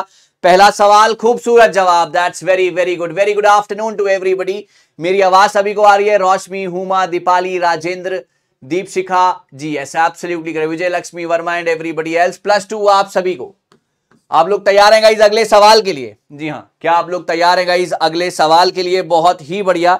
सवाल number next on your computer screen guys कुछ इस प्रकार रहा ये। जी हाँ। Gurukul system of education in India flourished during dash बताइए सर जो गुरुकुल सिस्टम था वो वैदिक उपनिषद पीरियड में आया था मौर्यन पीरियड में कुशान पीरियड में या गुप्ता पीरियड में? Come on guys waiting for your answers everybody शाबाश। जी प्लस टू के लिए हर बच्चा कोशिश करेगा। हर बच्चा राइट आंसर्स यहाँ पर देने की कोशिश रहनी चाहिए गाइस कम ऑन क्विकली शाबाश. Very very well done guys come on come on yes answers बहुत बढ़िया बहुत बढ़िया. आंसर्स आ रहे हैं. Yes very good I can see everybody's answer in the comment section guys बहुत खूबसूरत. यस यहाँ पर अगर हम पोल चलाएँगे तो पोल कुछ इस प्रकार होगा. Gurukul system of education in India flourish during Vedic Upanishad Mauryan period Kushan period या गुप्ता पीरियड यस बहुत खूबसूरत गाइज़ शाबाश। Answers on the screen guys बहुत बढ़िया। Answers on the screen guys बहुत बढ़िया। कुछ ए और डी में थोड़ा सा डाउट है। आपका डाउट जो है विद द क्वेश्चन दूर हो जाएगा और बहुत बढ़िया तरीके से आप सवालों के जवाब देने की कोशिश करते रहिए, देखते रहिए आंसर्स कहाँ तक पहुँच पाते हैं। जी हाँ एब्सोल्युटली राइट सर और यहाँ पर अगर मैं आंसर देता हूँ तो इसका आंसर है A Vedic Upanishad period 98 percent people are correct sir super answer sir बड़ा मज़ा आ गया। बहुत ही ज़्यादा मज़ा आ गया। बहुत बढ़िया तरीके से आंसर्स आए हैं। Your answer is yes A part Vedic and Upanishad period, और यहाँ पर हम इसको समझ लेते हैं। यहाँ पर gurukul system of education was originated in the Vedic period of the Indian which any one who wish to study went to teachers gurus house and requested to be taught है ना? तो यहाँ पर वैदिक और उपनिषद पीरियड दोनों को मिलाकर जो है यहाँ पर ये कहानी रची गई और गुरुकुल सिस्टम यहाँ पर सबसे ज़्यादा फ्लरिश हुआ। ए पार्ट आंसर आप सभी का गाइस बहुत बढ़िया। बहुत बहुत बढ़िया guys very very good plus two आप सभी को यहाँ पर मिलते हैं। और आप लोग तैयार हैं अगले सवाल के लिए तो अगला सवाल कुछ और मेरे जहन से आता हुआ।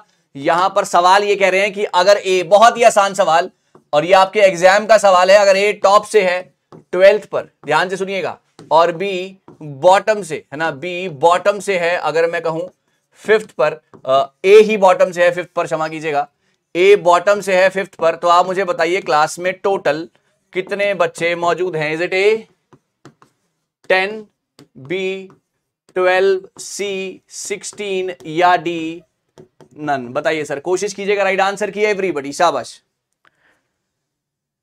कोशिश कीजिएगा राइट आंसर की एवरी वन शाबाश का इस एवरीबडी ओके चलिए A top twelfth A bottom fifth बहुत ही आसान सवाल। आपका कॉन्फिडेंस अलग अलग लेवल पर जाना चाहिए इस कमान कोशिश कीजिएगा राइट आंसर की माय डियर स्टूडेंट्स एवरीबडी बहुत बढ़िया, बहुत ही बढ़िया, खूबसूरत answers yes on the screen guys शाबाश. ऑन दी स्क्रीन गाइस शाबाश यस ए टॉप से ट्वेल्थ ए बॉटम से फिफ्थ क्लास में टोटल कितने बच्चे थे?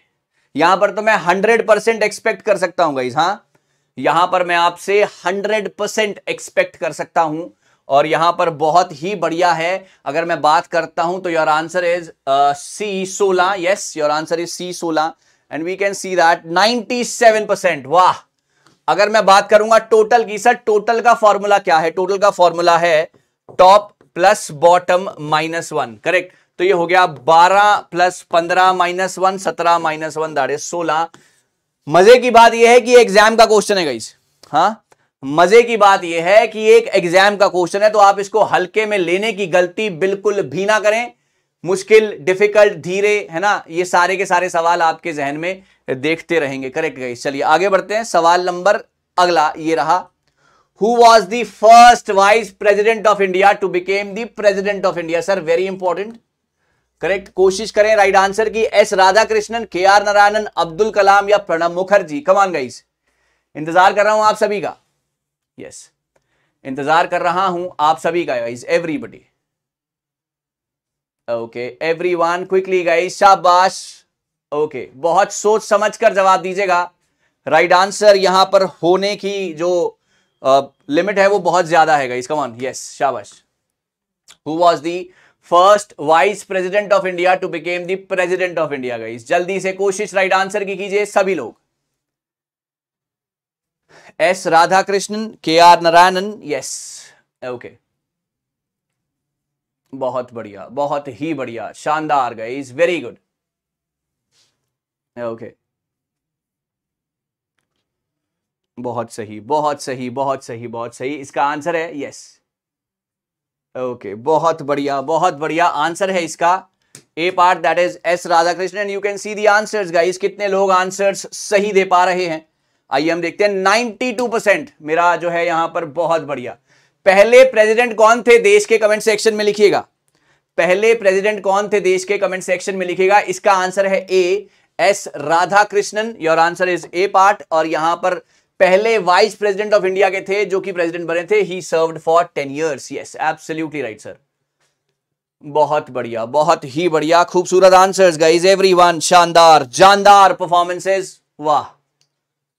यस बहुत बढ़िया, बहुत ही बढ़िया. वेरी गुड चलिए. Very very well done guys अगला सवाल देखते हैं. Which of the following countries in India is a federal system related to जी हाँ, भारत की संघीय व्यवस्था निम्नलिखित में से किस देश से संबंधित है? Is it's Canada United Kingdom United States of America या आयरलैंड बताइए सर। बहुत बढ़िया। Very very good guys super answers on the screen come on nail it guys बहुत सही। Okay okay.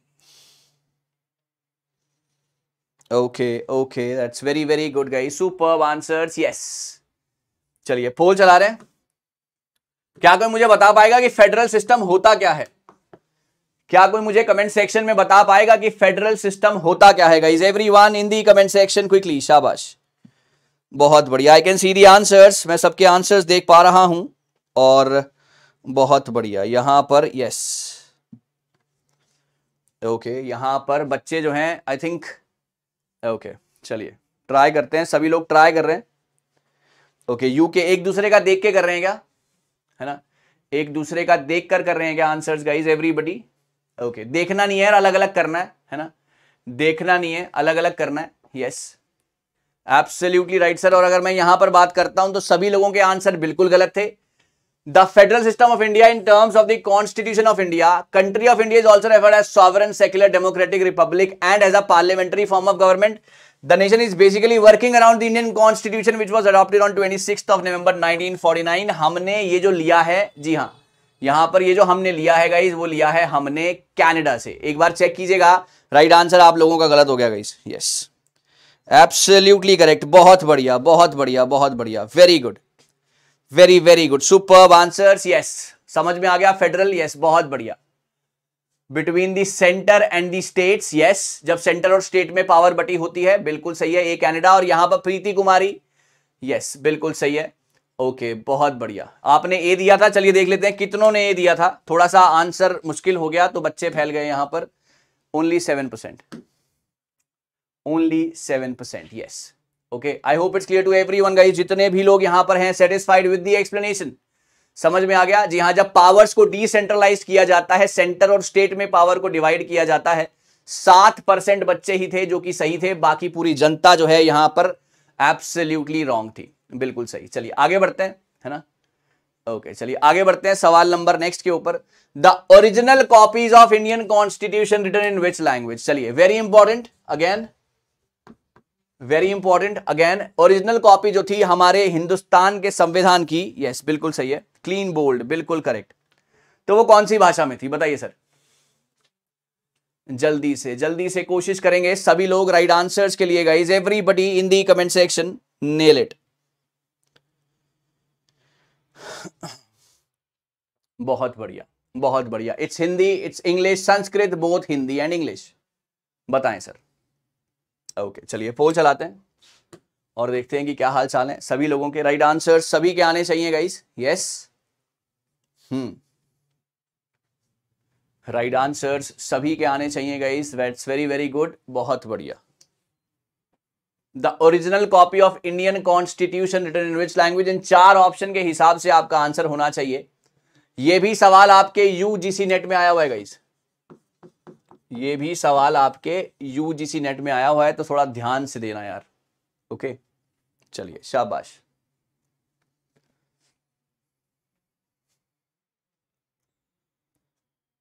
बहुत बढ़िया।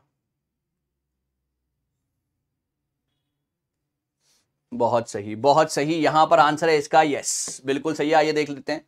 क्या हिसाब किताब है? Thirty seven percent people are correct the correct answer is both Hindi English English original copy जो थी, हिंदुस्तान के हमारे संविधान की, दोनों की, हिंदी और इंग्लिश में आई थी। इसका सही जवाब था डी पार्ट इंग्लिश वाले बिल्कुल गलत, है ना? तो यहाँ पर इस तरीके से सवाल जो है गलत होते हैं। यस इस तरीके के सवाल जो है गलत होते हैं। यस ओके ओके एब्सोल्युटली बिल्कुल सही है। तो यहाँ पर जो यूजीसी नेट इसका आंसर मानता है, वो मानता है डी पार्ट कुछ लोग हिंदी बोलते हैं, कुछ लोग इंग्लिश बोलते हैं। लेकिन यहाँ पर जो एनटीए ने आंसर माना है, वो माना है both that is Hindi and English both guys everybody clear with it guys every one absolutely satisfied guys जितने भी लोग बैठे? ओके यस ओके बात समझ में आ गई? चलिए आगे बढ़ते हैं। सवाल नंबर नेक्स्ट के ऊपर। और सवाल नंबर नेक्स्ट क्या कहता है? सवाल नंबर नेक्स्ट ये कहता है कि आप मुझे बताइए कि अगर यहाँ पर लिखा है ट्वेंटी ओके यहाँ पर लिखा है, मैं कहूँगा फोर्टी अगर यहाँ पर लिखा है टेन तो यहाँ पर क्या लिखा होगा? इस सवाल का जवाब आपने मुझे देना है। Is it A twenty B forty C ten या डी नन बताइए सर। जल्दी से कोशिश करेंगे राइट आंसर की everybody in the comment section कोशिश करेंगे। यस जहन का सवाल है। एब्सोल्युटली राइट यार भाई। जहन का सवाल है। गलत नहीं होना चाहिए। हर बच्चा कोशिश करेगा राइट आंसर के लिए। ट्वेंटी फोर्टी टेन डैश भाई, ये रेशियो का क्वेश्चन है, मैं आपको बता दूँ। ये रेशियो का क्वेश्चन है, मैं आपको बता दूँ, ये मिसिंग का क्वेश्चन नहीं है रेशियो का क्वेश्चन है। चलिए पोल चलाते हैं। और यहाँ पर देखते हैं कि क्या आंसर आ सकता है इसका। Come on guys everybody in the comment section my dear students yes come on guys every one कोशिश राइट आंसर की। माई डियर स्टूडेंट्स एवरीबडी भाई, उड़ा के दे दो इस सवाल को, चलो। उड़ा दो भाई सवाल को, चलो, शाबाश, जल्दी से वेरी गुड ये रेशियो का क्वेश्चन है भाई रेशियो का मैं बार बार बोल रहा हूँ, ये मिसिंग वहाँ पे लिखा होगा फाइंड द मिसिंग रेशियो वहाँ पे लिखा होगा फाइंड द मिसिंग रेशियो वहाँ पर मिसिंग नंबर नहीं लिखा होगा तो गलती मत कीजिएगा, कोई भी बच्चा। ठीक है? चलिए तो यहाँ पर इसको सॉल्व कैसे करते हैं? That is twenty upon forty is equal to ten upon x cross multiply forty into ten upon twenty है ना? Forty into ten upon twenty this is twenty two जा twenty is the answer your answer is A part भाई, बहुत बढ़िया। You can see the answer sir 93 percent people are there that super okay okay बहुत बढ़िया। बिल्कुल सही भाई, आया हुआ है क्वेश्चन जी हाँ बिल्कुल सही है। बहुत सही भाई, बहुत सही। धुएँ में उड़ा दो यार। मैं तो खुद चाहता हूँ कि आप इतना, इतने सारे सवाल हमने कराए हैं आपको कि धुआंधार प्रिपरेशन होनी चाहिए। ओके ओके जी, बिल्कुल सही, बिल्कुल बिल्कुल सही बिल्कुल सही, बिल्कुल। बेटा, ये ना, ये बड़ी बड़ी बातें जो करते हो ना कि ऐसे सवाल आ जाएँगे तो दो बार क्लियर हो जाएगा। बेटा, एक बार करके दिखाओ पहले। जब वहाँ पे डेढ़ सौ क्वेश्चन होते हैं ना सामने, जब वहाँ पर डेढ़ सौ क्वेश्चन होते हैं तो हालत खराब हो जाती है, ठीक है? चलिए, आगे बढ़ते हैं। आगे बढ़ते हैं, सवाल नंबर नेक्स्ट ये आपको पता है। ये एक और सरप्राइज़ आ रहा है यूजीसी नेट 2024 एस्पिरेंट्स के लिए 20 तारीख को 12 बजे एक और सरप्राइज़ है। आप गेस कीजिए क्या सरप्राइज़ है? बात करते हैं, ठीक है? आप गेस कीजिएगा क्या सरप्राइज़ है? बात करते हैं। चलिए What is the name of the first humanoid robot appointed as a CEO by Harnesen Robotics and Dictator making a historic milestone? Sir बड़ा इंपॉर्टेंट सवाल था है ना आपके आईसीटी से रिलेटेड था तो मुझे यहाँ पर डालना था आइए देखते हैं आइए देखते हैं चलिएगा इस कोशिश कीजिएगा राइट आंसर की my dear students everyone okay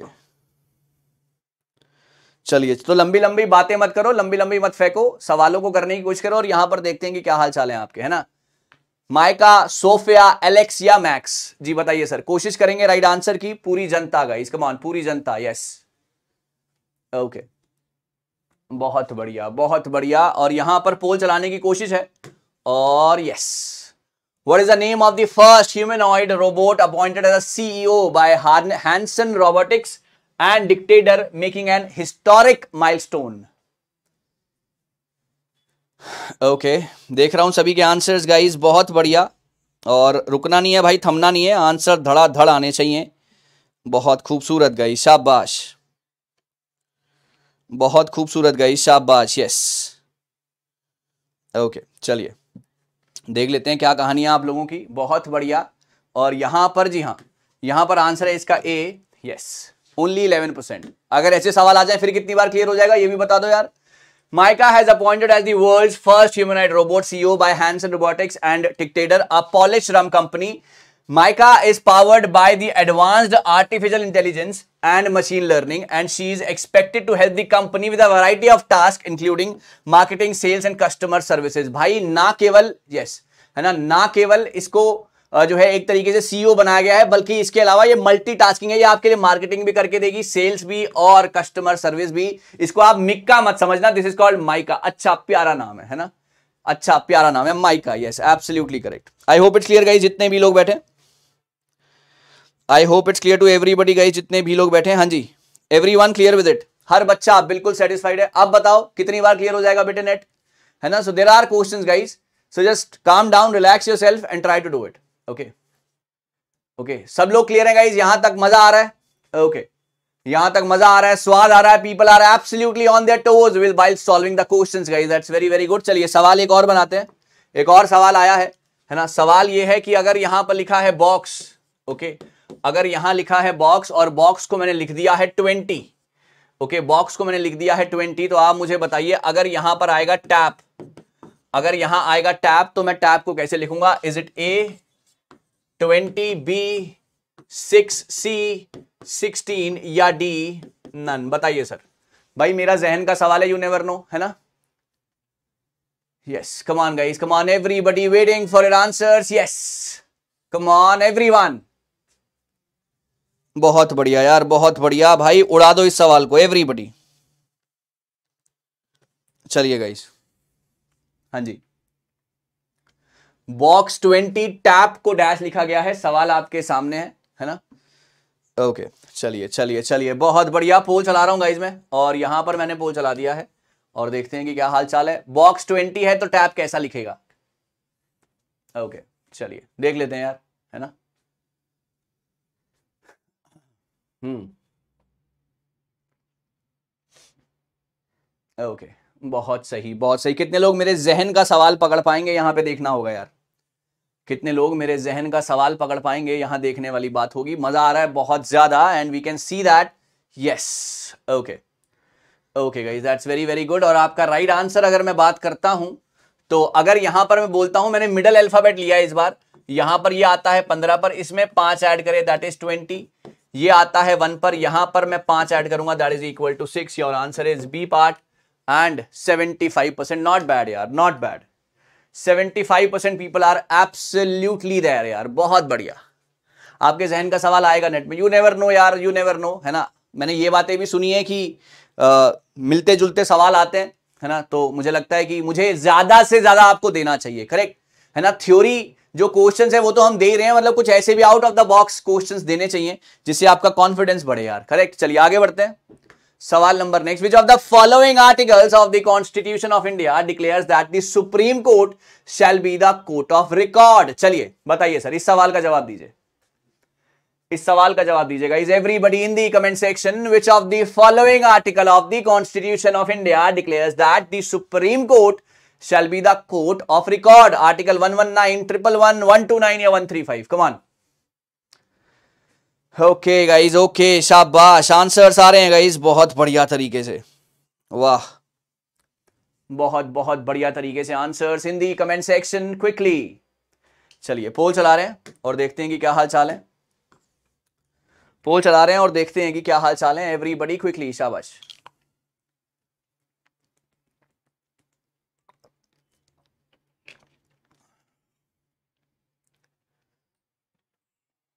okay बहुत सही यार बहुत सही। कैन सी दी आंसर्स बहुत बढ़िया। Okay.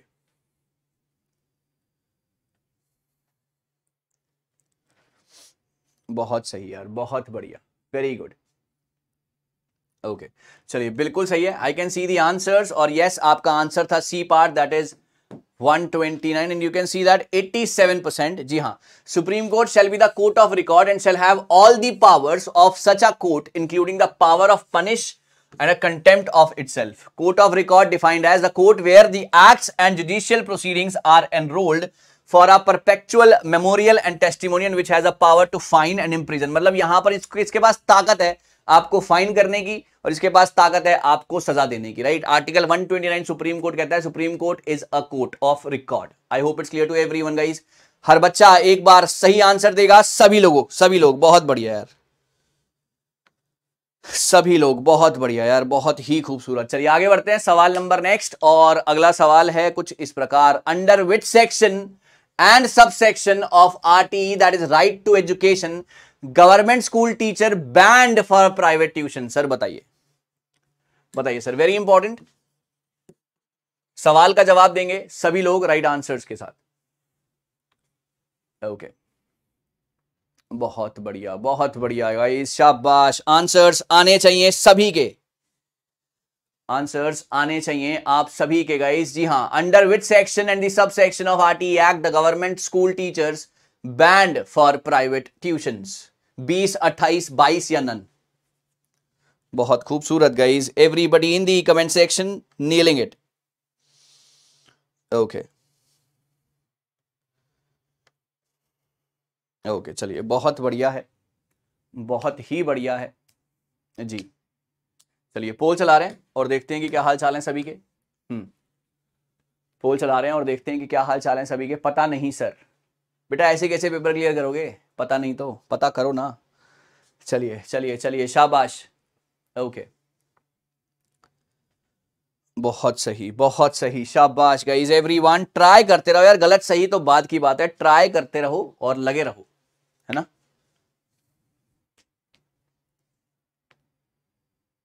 Okay it's very good जी, बिल्कुल सही है और राइट आंसर है इसका। यस मैंने पूरी टेबल बनाई है। आप इसको टेबल को मिल जाना। 80 परसेंट पीपल आ करेक्ट भाई पढ़ के आए हैं बच्चे, ऐसी कोई बात नहीं है। जी हाँ। So yes okay section 28 okay I am sorry इसका आंसर था बी पार्ट है ना? इसका आंसर था बी पार्ट दैट इज़ 28 था इसका राइट आंसर यस और यहाँ पर अगर मैं बात करता हूँ, देखिए section 28 at RT act no teacher shall engage himself in herself in the private tuition for private teaching activity section 28 at R T act 2009 sir correct कर लेना। सेक्शन 28 ये बात कहता है। सेक्शन 28 ओके ओके सेक्शन 28 इस बात को ध्यान रखना guys everybody clear with it गलती नहीं होनी चाहिए, यार। हम्म? गलती नहीं होनी चाहिए। सेक्शन 28 आरटी एक्ट 2009 ये कहता है है ना? ये कहता है कि आपका जो टीचर हैं, वो प्राइवेट किसी भी कोचिंग में अपने आप को इंडल्ज नहीं करेंगे। प्राइवेट ट्यूशन एक one of the ill effecting Indian education है which needs to be addressed है ना? प्राइवेट ट्यूशन होनी ही नहीं चाहिए, ऐसा ये कहते हैं। बात समझ में आ गई गई बात समझ में आ गई? Don't forget this is article 28 don't forget that guys ठीक है, चलिए आगे बढ़ते हैं, सवाल नंबर नेक्स्ट हाँ जी as per the RT act 2009 how many teachers will be provided in school having class one to five and total of sixty two students बताइए sir RTI अधिनियम 2009 के अनुसार कक्षा एक से पाँच और कुल बासठ छात्रों वाले स्कूल में कितने शिक्षक उपलब्ध कराए जाएँगे? वन टू थ्री या फोर बताएँगे गई शाबाश. ओके चलिए गई एवरी वन कोशिश राइट आंसर्स की एवरीबडी शाबाश।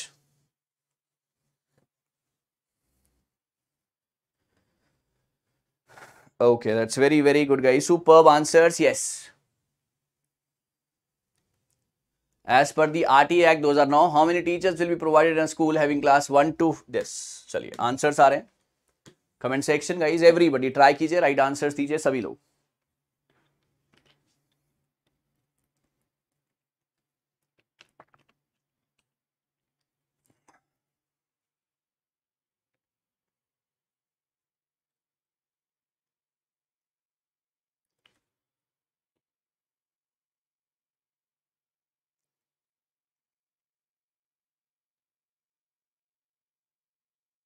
बहुत बढ़िया बहुत बढ़िया बहुत बढ़िया। जी हाँ यहाँ पर इसका राइट आंसर आप यहाँ पर देख सकते हैं। देखिए, अगर आपके यहाँ पर इकसठ से नब्बे स्टूडेंट्स हैं, है ना तो आपको तीन टीचर चाहिए ओके साठ स्टूडेंट तक दो टीचर चाहिए। अगर स्टूडेंट ज़्यादा हो जाएँगे तो आपको यहाँ पर सवाल क्या था? यहाँ पर सवाल ये कह रहा था कि बासठ स्टूडेंट है तो यानी कि आपको तीन टीचर चाहिए। पूरा डायग्राम मैंने बनाकर दिया है। योर आंसर इज़ दिस और यहाँ पर अगर आप देखेंगे ओनली सत्रह परसेंट पीपल आर करेक्ट देखिए यहाँ पर देखिए पूरा का पूरा डायग्राम बना हुआ है। और अगर आप ध्यान से देखते हैं इसको तो अगर साठ स्टूडेंट है आपके पास तो दो टीचर चाहिए। इकसठ से नब्बे है तो तीन चाहिए। इक्यानवे से एक सौ बीस है तो चार चाहिए, और फिर आगे लिखा हुआ है सारी की सारी कहानी। I hope it's clear to everybody guys yes बात क्लियर हो गई सभी को, जितने भी लोग यहाँ पर बैठे हैं, हर बच्चा क्लियर है? ओके चलिए, आगे बढ़ेंगे। पूरा का पूरा डायग्राम है। ये आपको नोट्स में मिल जाएगा तो घबराइएगा मत। चलिए।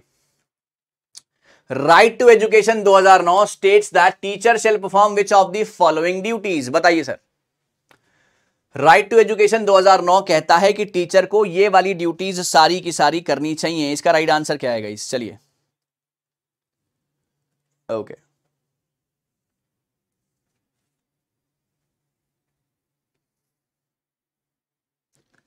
चलिए पोल चला रहे हैं और देखते हैं कि क्या हाल चाल है यहाँ पर सभी के।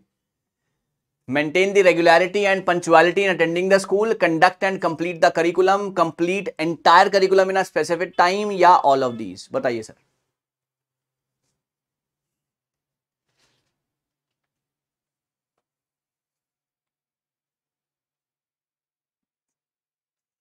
बहुत बढ़िया बहुत बढ़िया I can see the answers yes बहुत ही बढ़िया यार वेरी गुड यहाँ पर टीचर को सारे के सारे काम यहाँ पर, जी हाँ यहाँ पर टीचर को सारे के सारे काम जो है करने हैं। योर आंसर इज़ हंड्रेड भाई, पहला सौ मारा है आपने, है ना? Maintain the regularity and punctuality conduct and complete the curriculum complete the entire curriculum in specific time यानी कि आपको सारी की सारी चीज़ें करनी है as a teacher that is absolutely brilliant answer guys बहुत बढ़िया। पहला hundred that's very very well done बहुत खूबसूरत। चलिए आगे बढ़ते हैं। है ना? और एक और सवाल जो है यहाँ पर आ रहा है मेरे जहन में तो सवाल ये कहता है कि आप मुझे बताइए कि इक्कीस बजकर दस मिनट पर कितने डिग्री का एंगल बनेगा यार? चलो, इक्कीस बजकर दस मिनट पर कितने डिग्री का एंगल बनेगा? Is it A hundred B two hundred C three hundred या डी नन बताइए सर। नौ बजकर बीस मिनट पर कितने डिग्री का एंगल बनेगा? Come on guys waiting for your answers everybody शाबाश।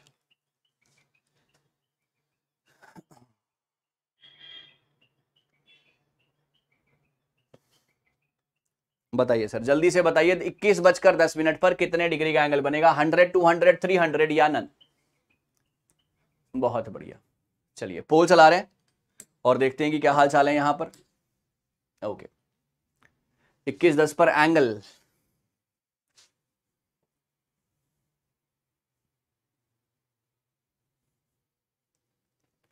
ओके गाइज़ यहाँ पर मैंने आपके सामने एक फॉर्मूला रखा था that is thirty H minus eleven by two minutes correct है?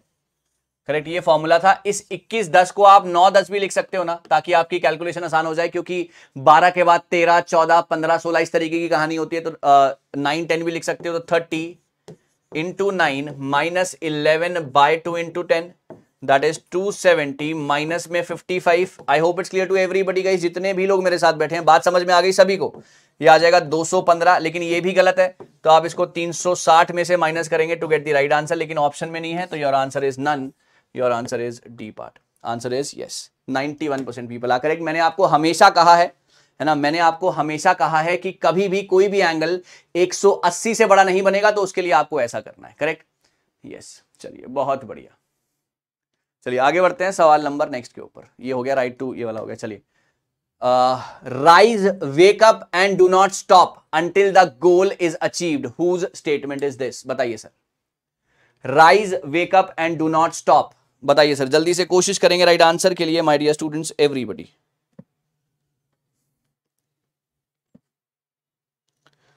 okay doctor Radhakrishnan Mahatma Gandhi Swami Vivekananda या नन बताइए सर, जल्दी से हर बच्चा कोशिश करेगा। राइट आंसर्स के लिए माय डियर स्टूडेंट्स एवरीबडी चलिए पोल चलाते हैं और यहाँ पर देखते हैं कि क्या हाल चाल है। Whose statement is this doctor Radhakrishnan Mahatma Gandhi Swami Vivekananda या नन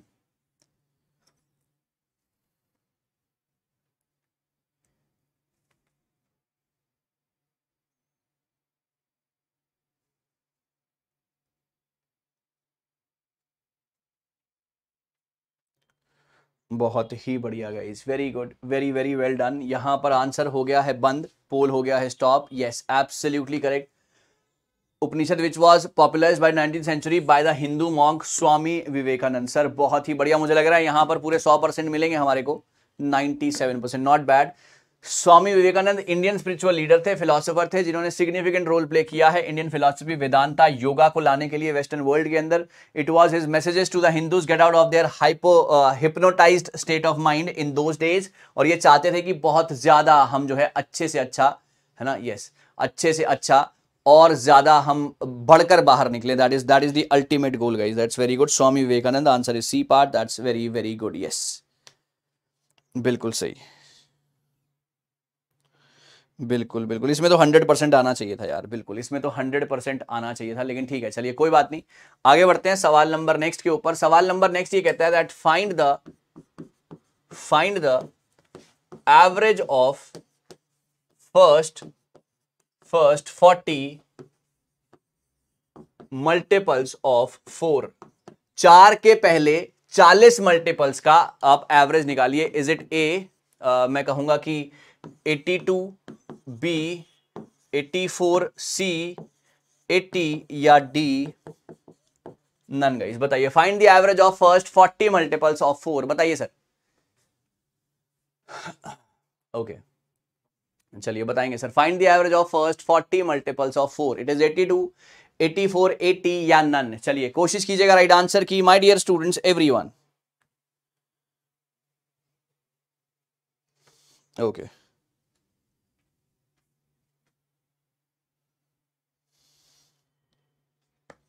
Okay चलिए पोल चला रहे हैं और देखते हैं कि क्या हाल चाल है yes let's let's try this find the average of first 40 multiples of 4 82 84 80 या नन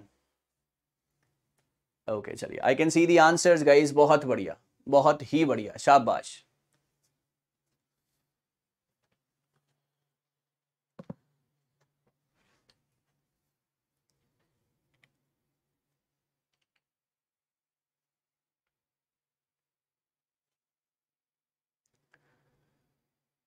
ओके अगर मैं यहाँ पर बात करता हूँ, पहले 40 मल्टीपल तो आप निकालिए, पहला मल्टीपल चार का दैट इज़ चार।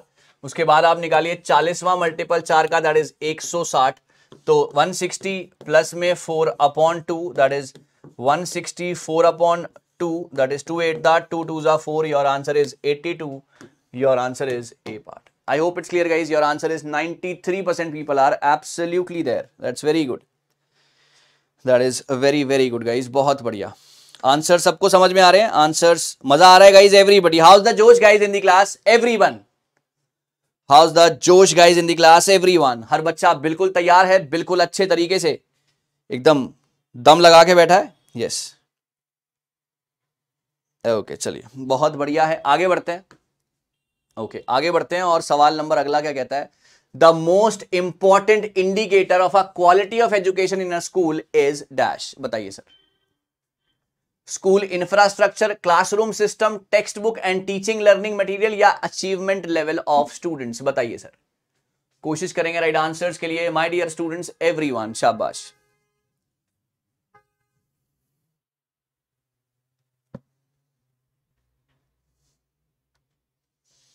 बहुत बढ़िया, बहुत ही बढ़िया गाइस हर बच्चा ट्राई करेगा। राइट right आंसर्स के लिए माय डियर स्टूडेंट्स ये स्कूल इंफ्रास्ट्रक्चर क्लासरूम भाई, सोच समझकर जवाब देना। टेक्स्ट बुक और टीचिंग लर्निंग मटेरियल सबसे इंपॉर्टेंट है। क्वालिटी ऑफ़ एजुकेशन किस तरीके से आ रही है? इंडिकेटर कौन है? Indicator we are talking about है ना? इंडिकेटर कौन सा है? चलिए पोल चलाते हैं और देखते हैं यहाँ पर क्या हाल चाल है। पोल चलाते हैं और देखते हैं यहाँ पर क्या हाल चाल है। हर बच्चा कोशिश करेगा राइट आंसर्स के लिए my dear students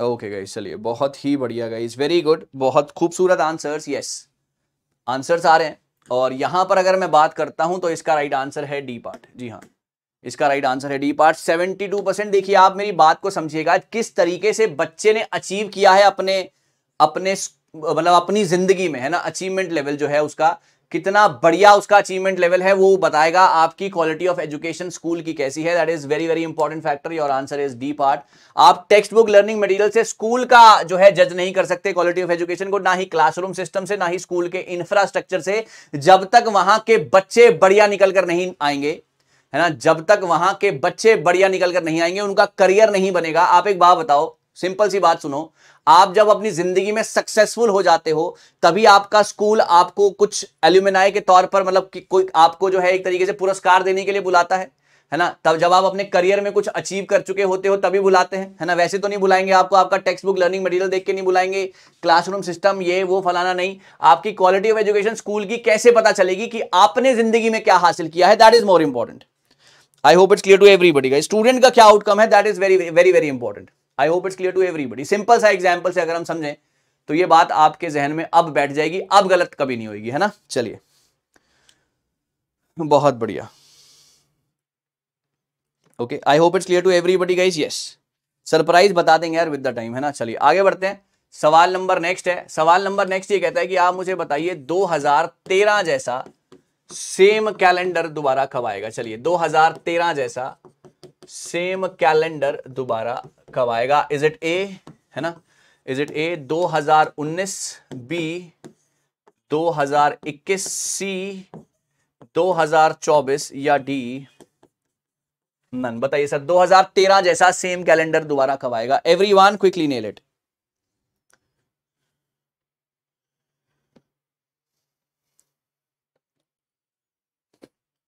okay guys yes okay come on guys waiting for your answers everyone शाबाश. ओके चलिए स्टार्ट करते हैं पोल को और राइट right आंसर देने की कोशिश करते हैं। 2013 का सेम कैलेंडर दोबारा कब आएगा?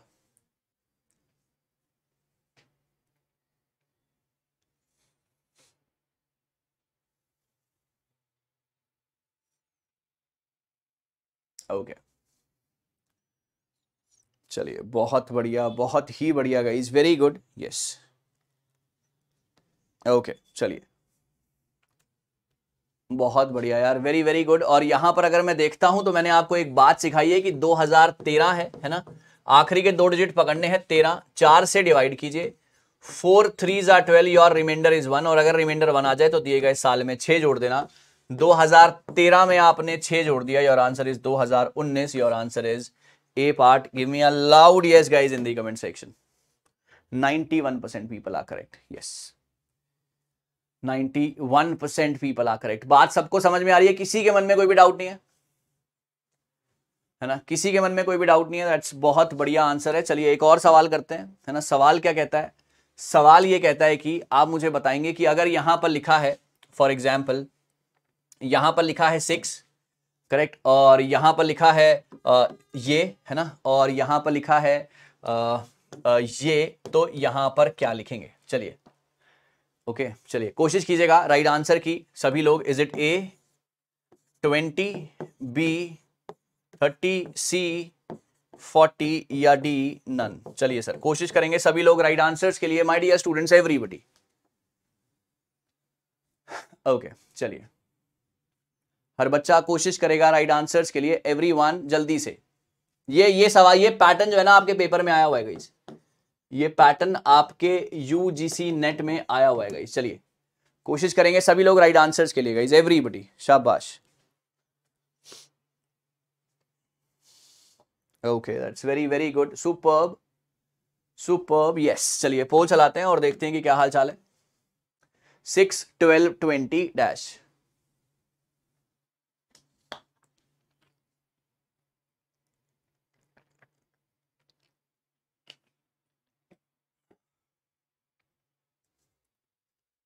चलिए गाइस शाबाश। Right answers guys everyone quickly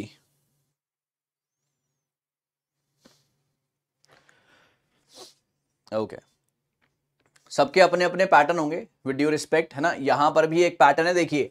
जो मैं पैटर्न आपको बता रहा हूँ ना, इसको ध्यान से सुनना। वो वैसे तो एडिशन से भी हो रहा है, लेकिन टू थ्री जा सिक्स करेक्ट थ्री फोर जा ट्वेल्व करेक्ट फोर फाइव जा ट्वेंटी मतलब एक एक बढ़ता जा रहा है और यहाँ पर आएगा फाइव सिक्स जा थर्टी बाकी पैटर्न पे ध्यान देना, हो तो ये एडिशन से भी जाएगा, है ना? ये तो ये, हो तो ये एडिशन से भी जाएगा, लेकिन ओके ओके हो तो ये एडिशन से भी जाएगा, लेकिन आपको जो है इस हिसाब से ध्यान से रखना है, इसको आंसर है इसका B part I hope it's clear to everyone guys जितने भी लोग मेरे साथ बैठे eighty seven percent people are correct pattern को ध्यान देना, है ना? सक्सेसिव नंबर से मल्टीप्लाई ओके सक्सेसिव नंबर से multiply this is very very important okay I hope it's clear guys हर बच्चा बिल्कुल सेटिस्फाइड विद द एक्सप्लेनेशन किसी के मन में कोई भी डाउट नहीं है. Okay okay? किसी के मन में कोई भी डाउट नहीं है. चलिए आगे बढ़ते हैं. चलिए आगे बढ़ते हैं. सवाल नंबर नेक्स्ट है. अच्छा आप मुझे बताइए कि अगर आपकी घड़ी में बारह बजकर, है ना, बारह बजकर तीस मिनट हो रहे हैं तो इसकी मिरर इमेज क्या बनेगी? चलिए तो इसकी मिरर इमेज क्या बनेगी? इज़ इट ए जी हाँ. Is it A eleven thirty is it B ten thirty is it C nine thirty या इज़ इट डी नन बताइए सर। बारह तीस हो रहे हैं, है ना? बारह तीस हो रहे हैं तो आप मुझे बताइए कि इसकी मिरर इमेज क्या बनेगी। जल्दी से गाइस कोशिश राइट आंसर की होनी चाहिए। कोशिश राइट आंसर की होनी चाहिए गाइस एवरीवन शाबाश।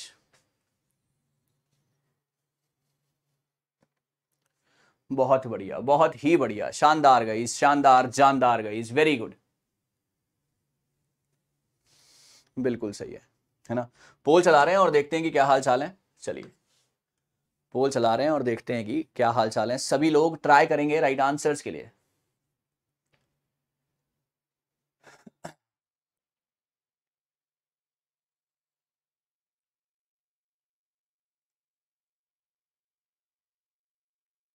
ओके.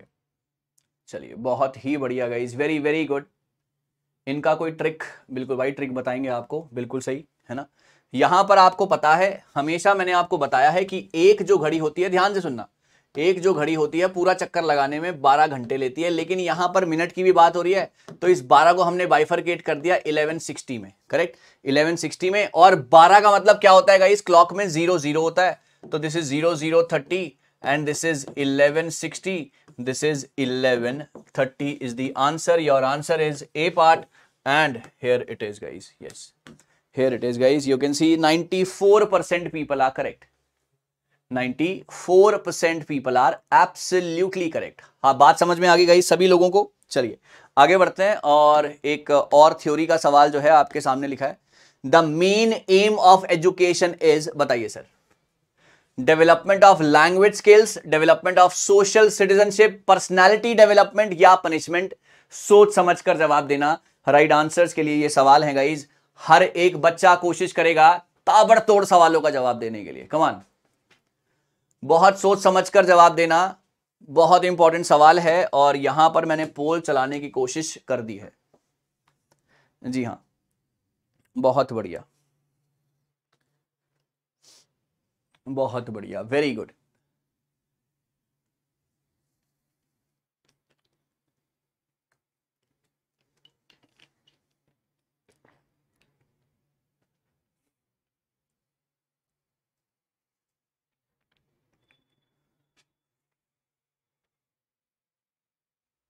बिल्कुल सही है सर, इसका राइट आंसर है C part that is personality development and you can see seventy यार एक बात बताओ, जब आप एक बंदे की पूरी पर्सनैलिटी को डेवलप कर देंगे, जो कि मेन एम है एजुकेशन का, जब आप एक बंदे की पूरी पर्सनालिटी डेवलप हो गई है तो उसमें चलने, ढलने, बात करने, है ना सोसाइटी में रहने, सारे के सारे गुण आ गए ना तो यही तो एजुकेशन चाहती है कि आपकी एक ओवरऑल पर्सनालिटी को डेवलप की जाए, किया जाए, है ना? आपकी एक ओवरऑल पर्सनालिटी को डेवलप किया जाए। Answer is C part your answer is this I hope it's clear to everybody guys okay I hope it's clear to everyone guys जितने भी लोग यहाँ पर बैठे हैं, हर बच्चा बिल्कुल सेटिस्फाइड है है ना? वो अल्टीमेटली एक प्रॉपर नया सिटीजन बन जाएगा that is very very important ठीक है? चलिए आगे बढ़ते हैं। सवाल नंबर नेक्स्ट के ऊपर।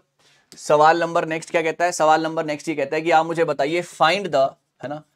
Find the third proportion find the third proportion of of twenty है ना? थर्टी एंड टेन बताइए find the third proportion of twenty and thirty चलिए। ट्वेंटी एंड थर्टी का थर्ड प्रपोर्शन बताना है। आपके सामने यहाँ पर लिखा है is it A is it A one twenty is it B forty is it C two hundred या इज़ इट डी नन बताइए sir. Find the third proportion of twenty and thirty everybody in the comment section गई शाबाश। Okay जल्दी से try करेंगे। Every one right answers के लिए। जल्दी जल्दी, शाबाश।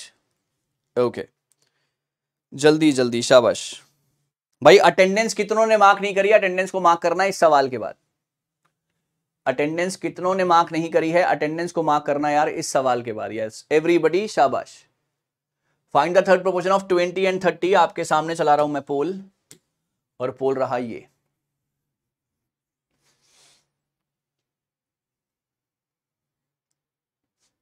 Okay okay. बहुत सही। बहुत बढ़िया बहुत बढ़िया, शाबाश।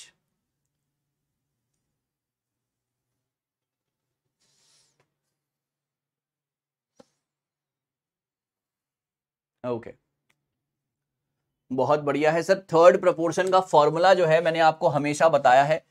A upon B is equal to B upon X ये फॉर्मूला मैंने आपको बताया है जहाँ पर ये ए है और ये बी है। That is twenty upon thirty is equal to thirty upon X cross multiply, thirty into thirty upon twenty, यहाँ से यहाँ खत्म, ये पंद्रह पे कटेगा। ऑप्शन में ही नहीं है योर आंसर है कमान यस बिल्कुल सही और आंसर इज़ डी पार्ट बात समझ में आ गई गई पैटर्न समझ में आ गया, सभी को जितने भी लोग मेरे साथ बैठे हैं, है ना? 97 परसेंट पीपल आर करेक्ट कहानी बिल्कुल जहन में बैठ रही है गाइस कहानी बिल्कुल जहन में बैठ रही है गाइस हर बच्चा बिल्कुल क्लियर है. किसी के मन में कोई भी डाउट नहीं है. चलिए, आगे बढ़ते हैं. सवाल नंबर नेक्स्ट है है ना? अगर मैं कहूँ कि यहाँ पर मैंने ब्लैक लिखा है करेक्ट ब्लैक लिखा है और ब्लैक को मैंने लिख दिया है, आप कहेंगे टेन ओके तो अगर यहाँ पर वाइट लिखा है, अगर यहाँ पर वाइट लिखा है तो इसको कैसे लिखूँगा? Is it A ten B nine C four या डी सेवन। बताइए sir. Ten, nine, four, seven everybody in the comment section quickly जितने ज़्यादा सवाल होंगे, उतना बढ़िया कॉन्फिडेंस निकल के आएगा। यस.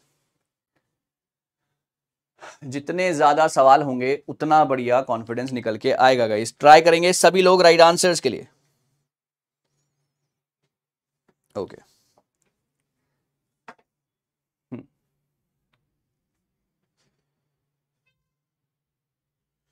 जल्दी से ट्राई करेंगे राइट आंसर्स के लिए। माय डियर स्टूडेंट्स यस चलिए कोशिश करते हैं और यहाँ पर बनाते हैं right answers black ten white dash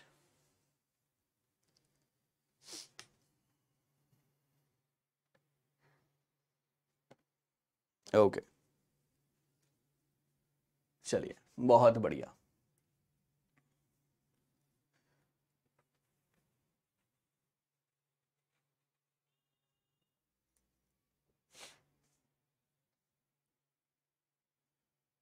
सही सही सही, बहुत सही। चलिए ट्राई करते हैं और यहाँ पर अगर देखो, यहाँ पर आखिरी अल्फ़ाबेट है इलेवन इलेवन में मैंने माइनस वन किया दैट इज़ टेन फाइव में मैंने माइनस वन किया that is four your answer is C part correct जी हाँ बिल्कुल सही है। Sixty percent people are correct भाई, बाकी बच्चे क्या कर रहे थे? चलिए, यानी कि मैं सफल रहा आपका क्वेश्चन गलत कराने में। दैट्स वेरी गुड मैं सफल रहा आपको कुछ नया सिखाने में। That's very very good I can see the answers guys बहुत बढ़िया। मिसेस चैटर्जी हुमा लाइफस्टाइल है ना? और ये सारे के सारे Anjana Mohanty that's very very good guys बहुत बढ़िया। Okay okay. बहुत सही बहुत सही बहुत सही that's very good guys superb चलिए, आगे बढ़ते हैं, एक सवाल और, है ना? एक सवाल और। क्या आप लोग तैयार हैं एक और सवाल के लिए या आई शुड स्टॉप चलिए, आप लोग तैयार हैं एक और सवाल के लिए या आई शुड स्टॉप गाइस थके तो नहीं ना अभी? हाँ? अभी है दम? Okay okay. अभी है दम? चलिए गाइस बहुत बढ़िया। एक और सवाल? चलिए I can see that's people are still want more question चलिए। ओके चलिए, एक और सवाल। यहाँ पर सवाल ये कहता है कि आप मुझे बताइए कि अगर हाँ जी, आप मुझे बताइए कि यहाँ पर लिखा है पीपल ओके यहाँ पर लिखा है पीपल तो पीपल को मैंने लिख दिया है, आप मुझे बताएँगे? ओके टेन ओके पीपल को मैंने लिख दिया है टेन आप लोग मुझे यहाँ पर बताइए, अगर यहाँ लिखा है जैबरा ओके अगर यहाँ लिखा है जैबरा तो ये कैसे लिखा जाएगा? हाँ जैबरा लिखा है तो ये कैसे लिखा जाएगा? Is it A twenty one B twenty C twenty three या फिर डी बताइए सर। जल्दी से guys waiting for your answers everybody okay पाँच बजे तक क्वेश्चन करा दीजिए। अच्छा अच्छा मेरी क्लास है बेटे अभी, एक और। हम्म चलिए। ओके चलिए। Waiting for your answers everybody कोशिश राइट आंसर की एवरीवन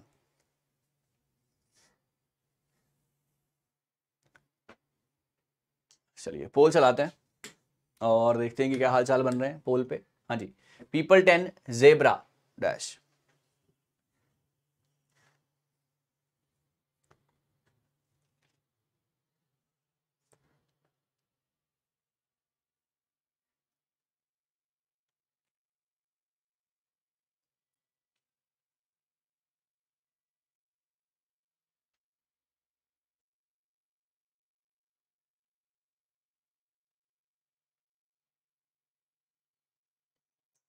बहुत बढ़िया यार, बहुत ही बढ़िया दैट्स वेरी वेरी गुड आइए, यहाँ पर बात करते हैं, देखिए, ये पी ये पहला अल्फ़ाबेट है, ये सोलह पे आता है ना। एक, दो, तीन, चार, पाँच, छह, कितने अल्फ़ाबेट है? छह अल्फ़ाबेट है that is equal to ten पहले अल्फ़ाबेट में से, पहले अल्फ़ाबेट के नंबर में से नंबर ऑफ़ अल्फाबेट्स को माइनस कर दिया that is equal to this आगे बढ़ते हैं, ये आता है ट्वेंटी सिक्स पर। One two three four five minus का five that is equal to twenty one your answer is a part your answer is a part and here we are with the answer, guys. Only 4% people are correct. Only 4% देख रहे हो भाई? तो ऐसे भी सवाल आते हैं, आपको हर तरीके से तैयार रखने की कोशिश है है ना? तैयार रखने की कोशिश है राइट तो मैंने इस बार आपको बोल्ड कर दिया हाँ। मैंने आपको इस बार बिल्कुल क्लीन बोल्ड कर दिया, आपके आसपास भी नहीं था आंसर है ना? मान लो इस बात को करेक्ट सो मैं जब चाहूँ गलत करा सकता हूँ तो ज़्यादा फैलना नहीं है मेरे आगे, ठीक है बेटे? चलो। ओके, ज़्यादा फैलना नहीं है मेरे आगे, ठीक है बेटे? ये रहा, ओके। ओके, चलिए, बहुत बढ़िया बहुत बढ़िया। Okay I hope it's clear to everyone guys हर बच्चा क्लियर है, बिल्कुल सेटिस्फाइड है विद दी एक्सप्लेनेशन मज़ा आ रहा है गाइज़ यस ओके। ओके, बहुत सही बहुत सही बहुत सही। चलिए, बहुत सही है गाइज़ है ना? अब आपको ये बताना है, अब आपको ये बताना है कि आपको ये क्लास कैसी लगी? है ना? क्लास के सवाल कैसे लगे और आपका स्कोर क्या था? जो भी बेस्ट कमेंट होंगे, जो भी बेस्ट कमेंट होंगे, उनको मिलेंगे शाउट आउट मेरे अगले सेशन में फॉर श्योर करेक्ट उनको मिलेगा शा जाते जाते रुला देंगे क्या सर हाँ भाई, रुला देंगे, हैं? तो चलिए, बहुत बढ़िया गाइस बहुत बहुत शुक्रिया आपका मेरे साथ जुड़ने के लिए। क्लास कैसी लगी? क्लास के सवाल कैसे लगे? आपका स्कोर कितना था? बेस्ट कमेंट को शाउट आउट और ये रहा आपका होमवर्क का सवाल। ये आपको सरप्राइज़ है 20 अप्रैल दोपहर को 12 बजे देंगे आपको सरप्राइज़, क्या होगा? जी हाँ। Education is that thing which makes the man self sufficient and self selfless who has given this idea बताइए सर। शिक्षा वह चीज़ है जो मनुष्य को आत्मनिर्भर और निस्वार्थ बनाती है। विचार किसने दिया है? सामवेद अथर्वेद ऋग्वेद या यजुर्वेद में। कोशिश कीजिएगा राइट आंसर की माई डियर स्टूडेंट्स है ना? कोशिश कीजिएगा राइट आंसर की माई डियर स्टूडेंट्स एवरीबडी और ये रहा आपका लीडर बोर्ड लीडर बोर्ड रहा कुछ इस प्रकार। जी हाँ आज की जो टॉपर है वो है शैली चौहान ओनली बारह सेकंड में इन्होंने जवाब दिया है। Saurabh, Charu Bajpai, Mona, Ishita Ganguly, Beauty Tiwari, Archana, Priyanka, Prakash, Devashree, Shivani and you can check your answers you can check your names there thank you so much guys it's a pleasure teaching बहुत बहुत शुक्रिया। मुझे उम्मीद है कि आपको ये session है ना? आपको ये सेशन पसंद आया होगा और ऐसे ही आगे बढ़ते रहें, खुश रहें, स्वस्थ रहें, मस्त रहें। प्रेपरेशन के साथ गाइज़ ज़बरदस्त रहे। Thank you so much it's a pleasure teaching will be meeting again with some more important with some more fantabulous questions thank you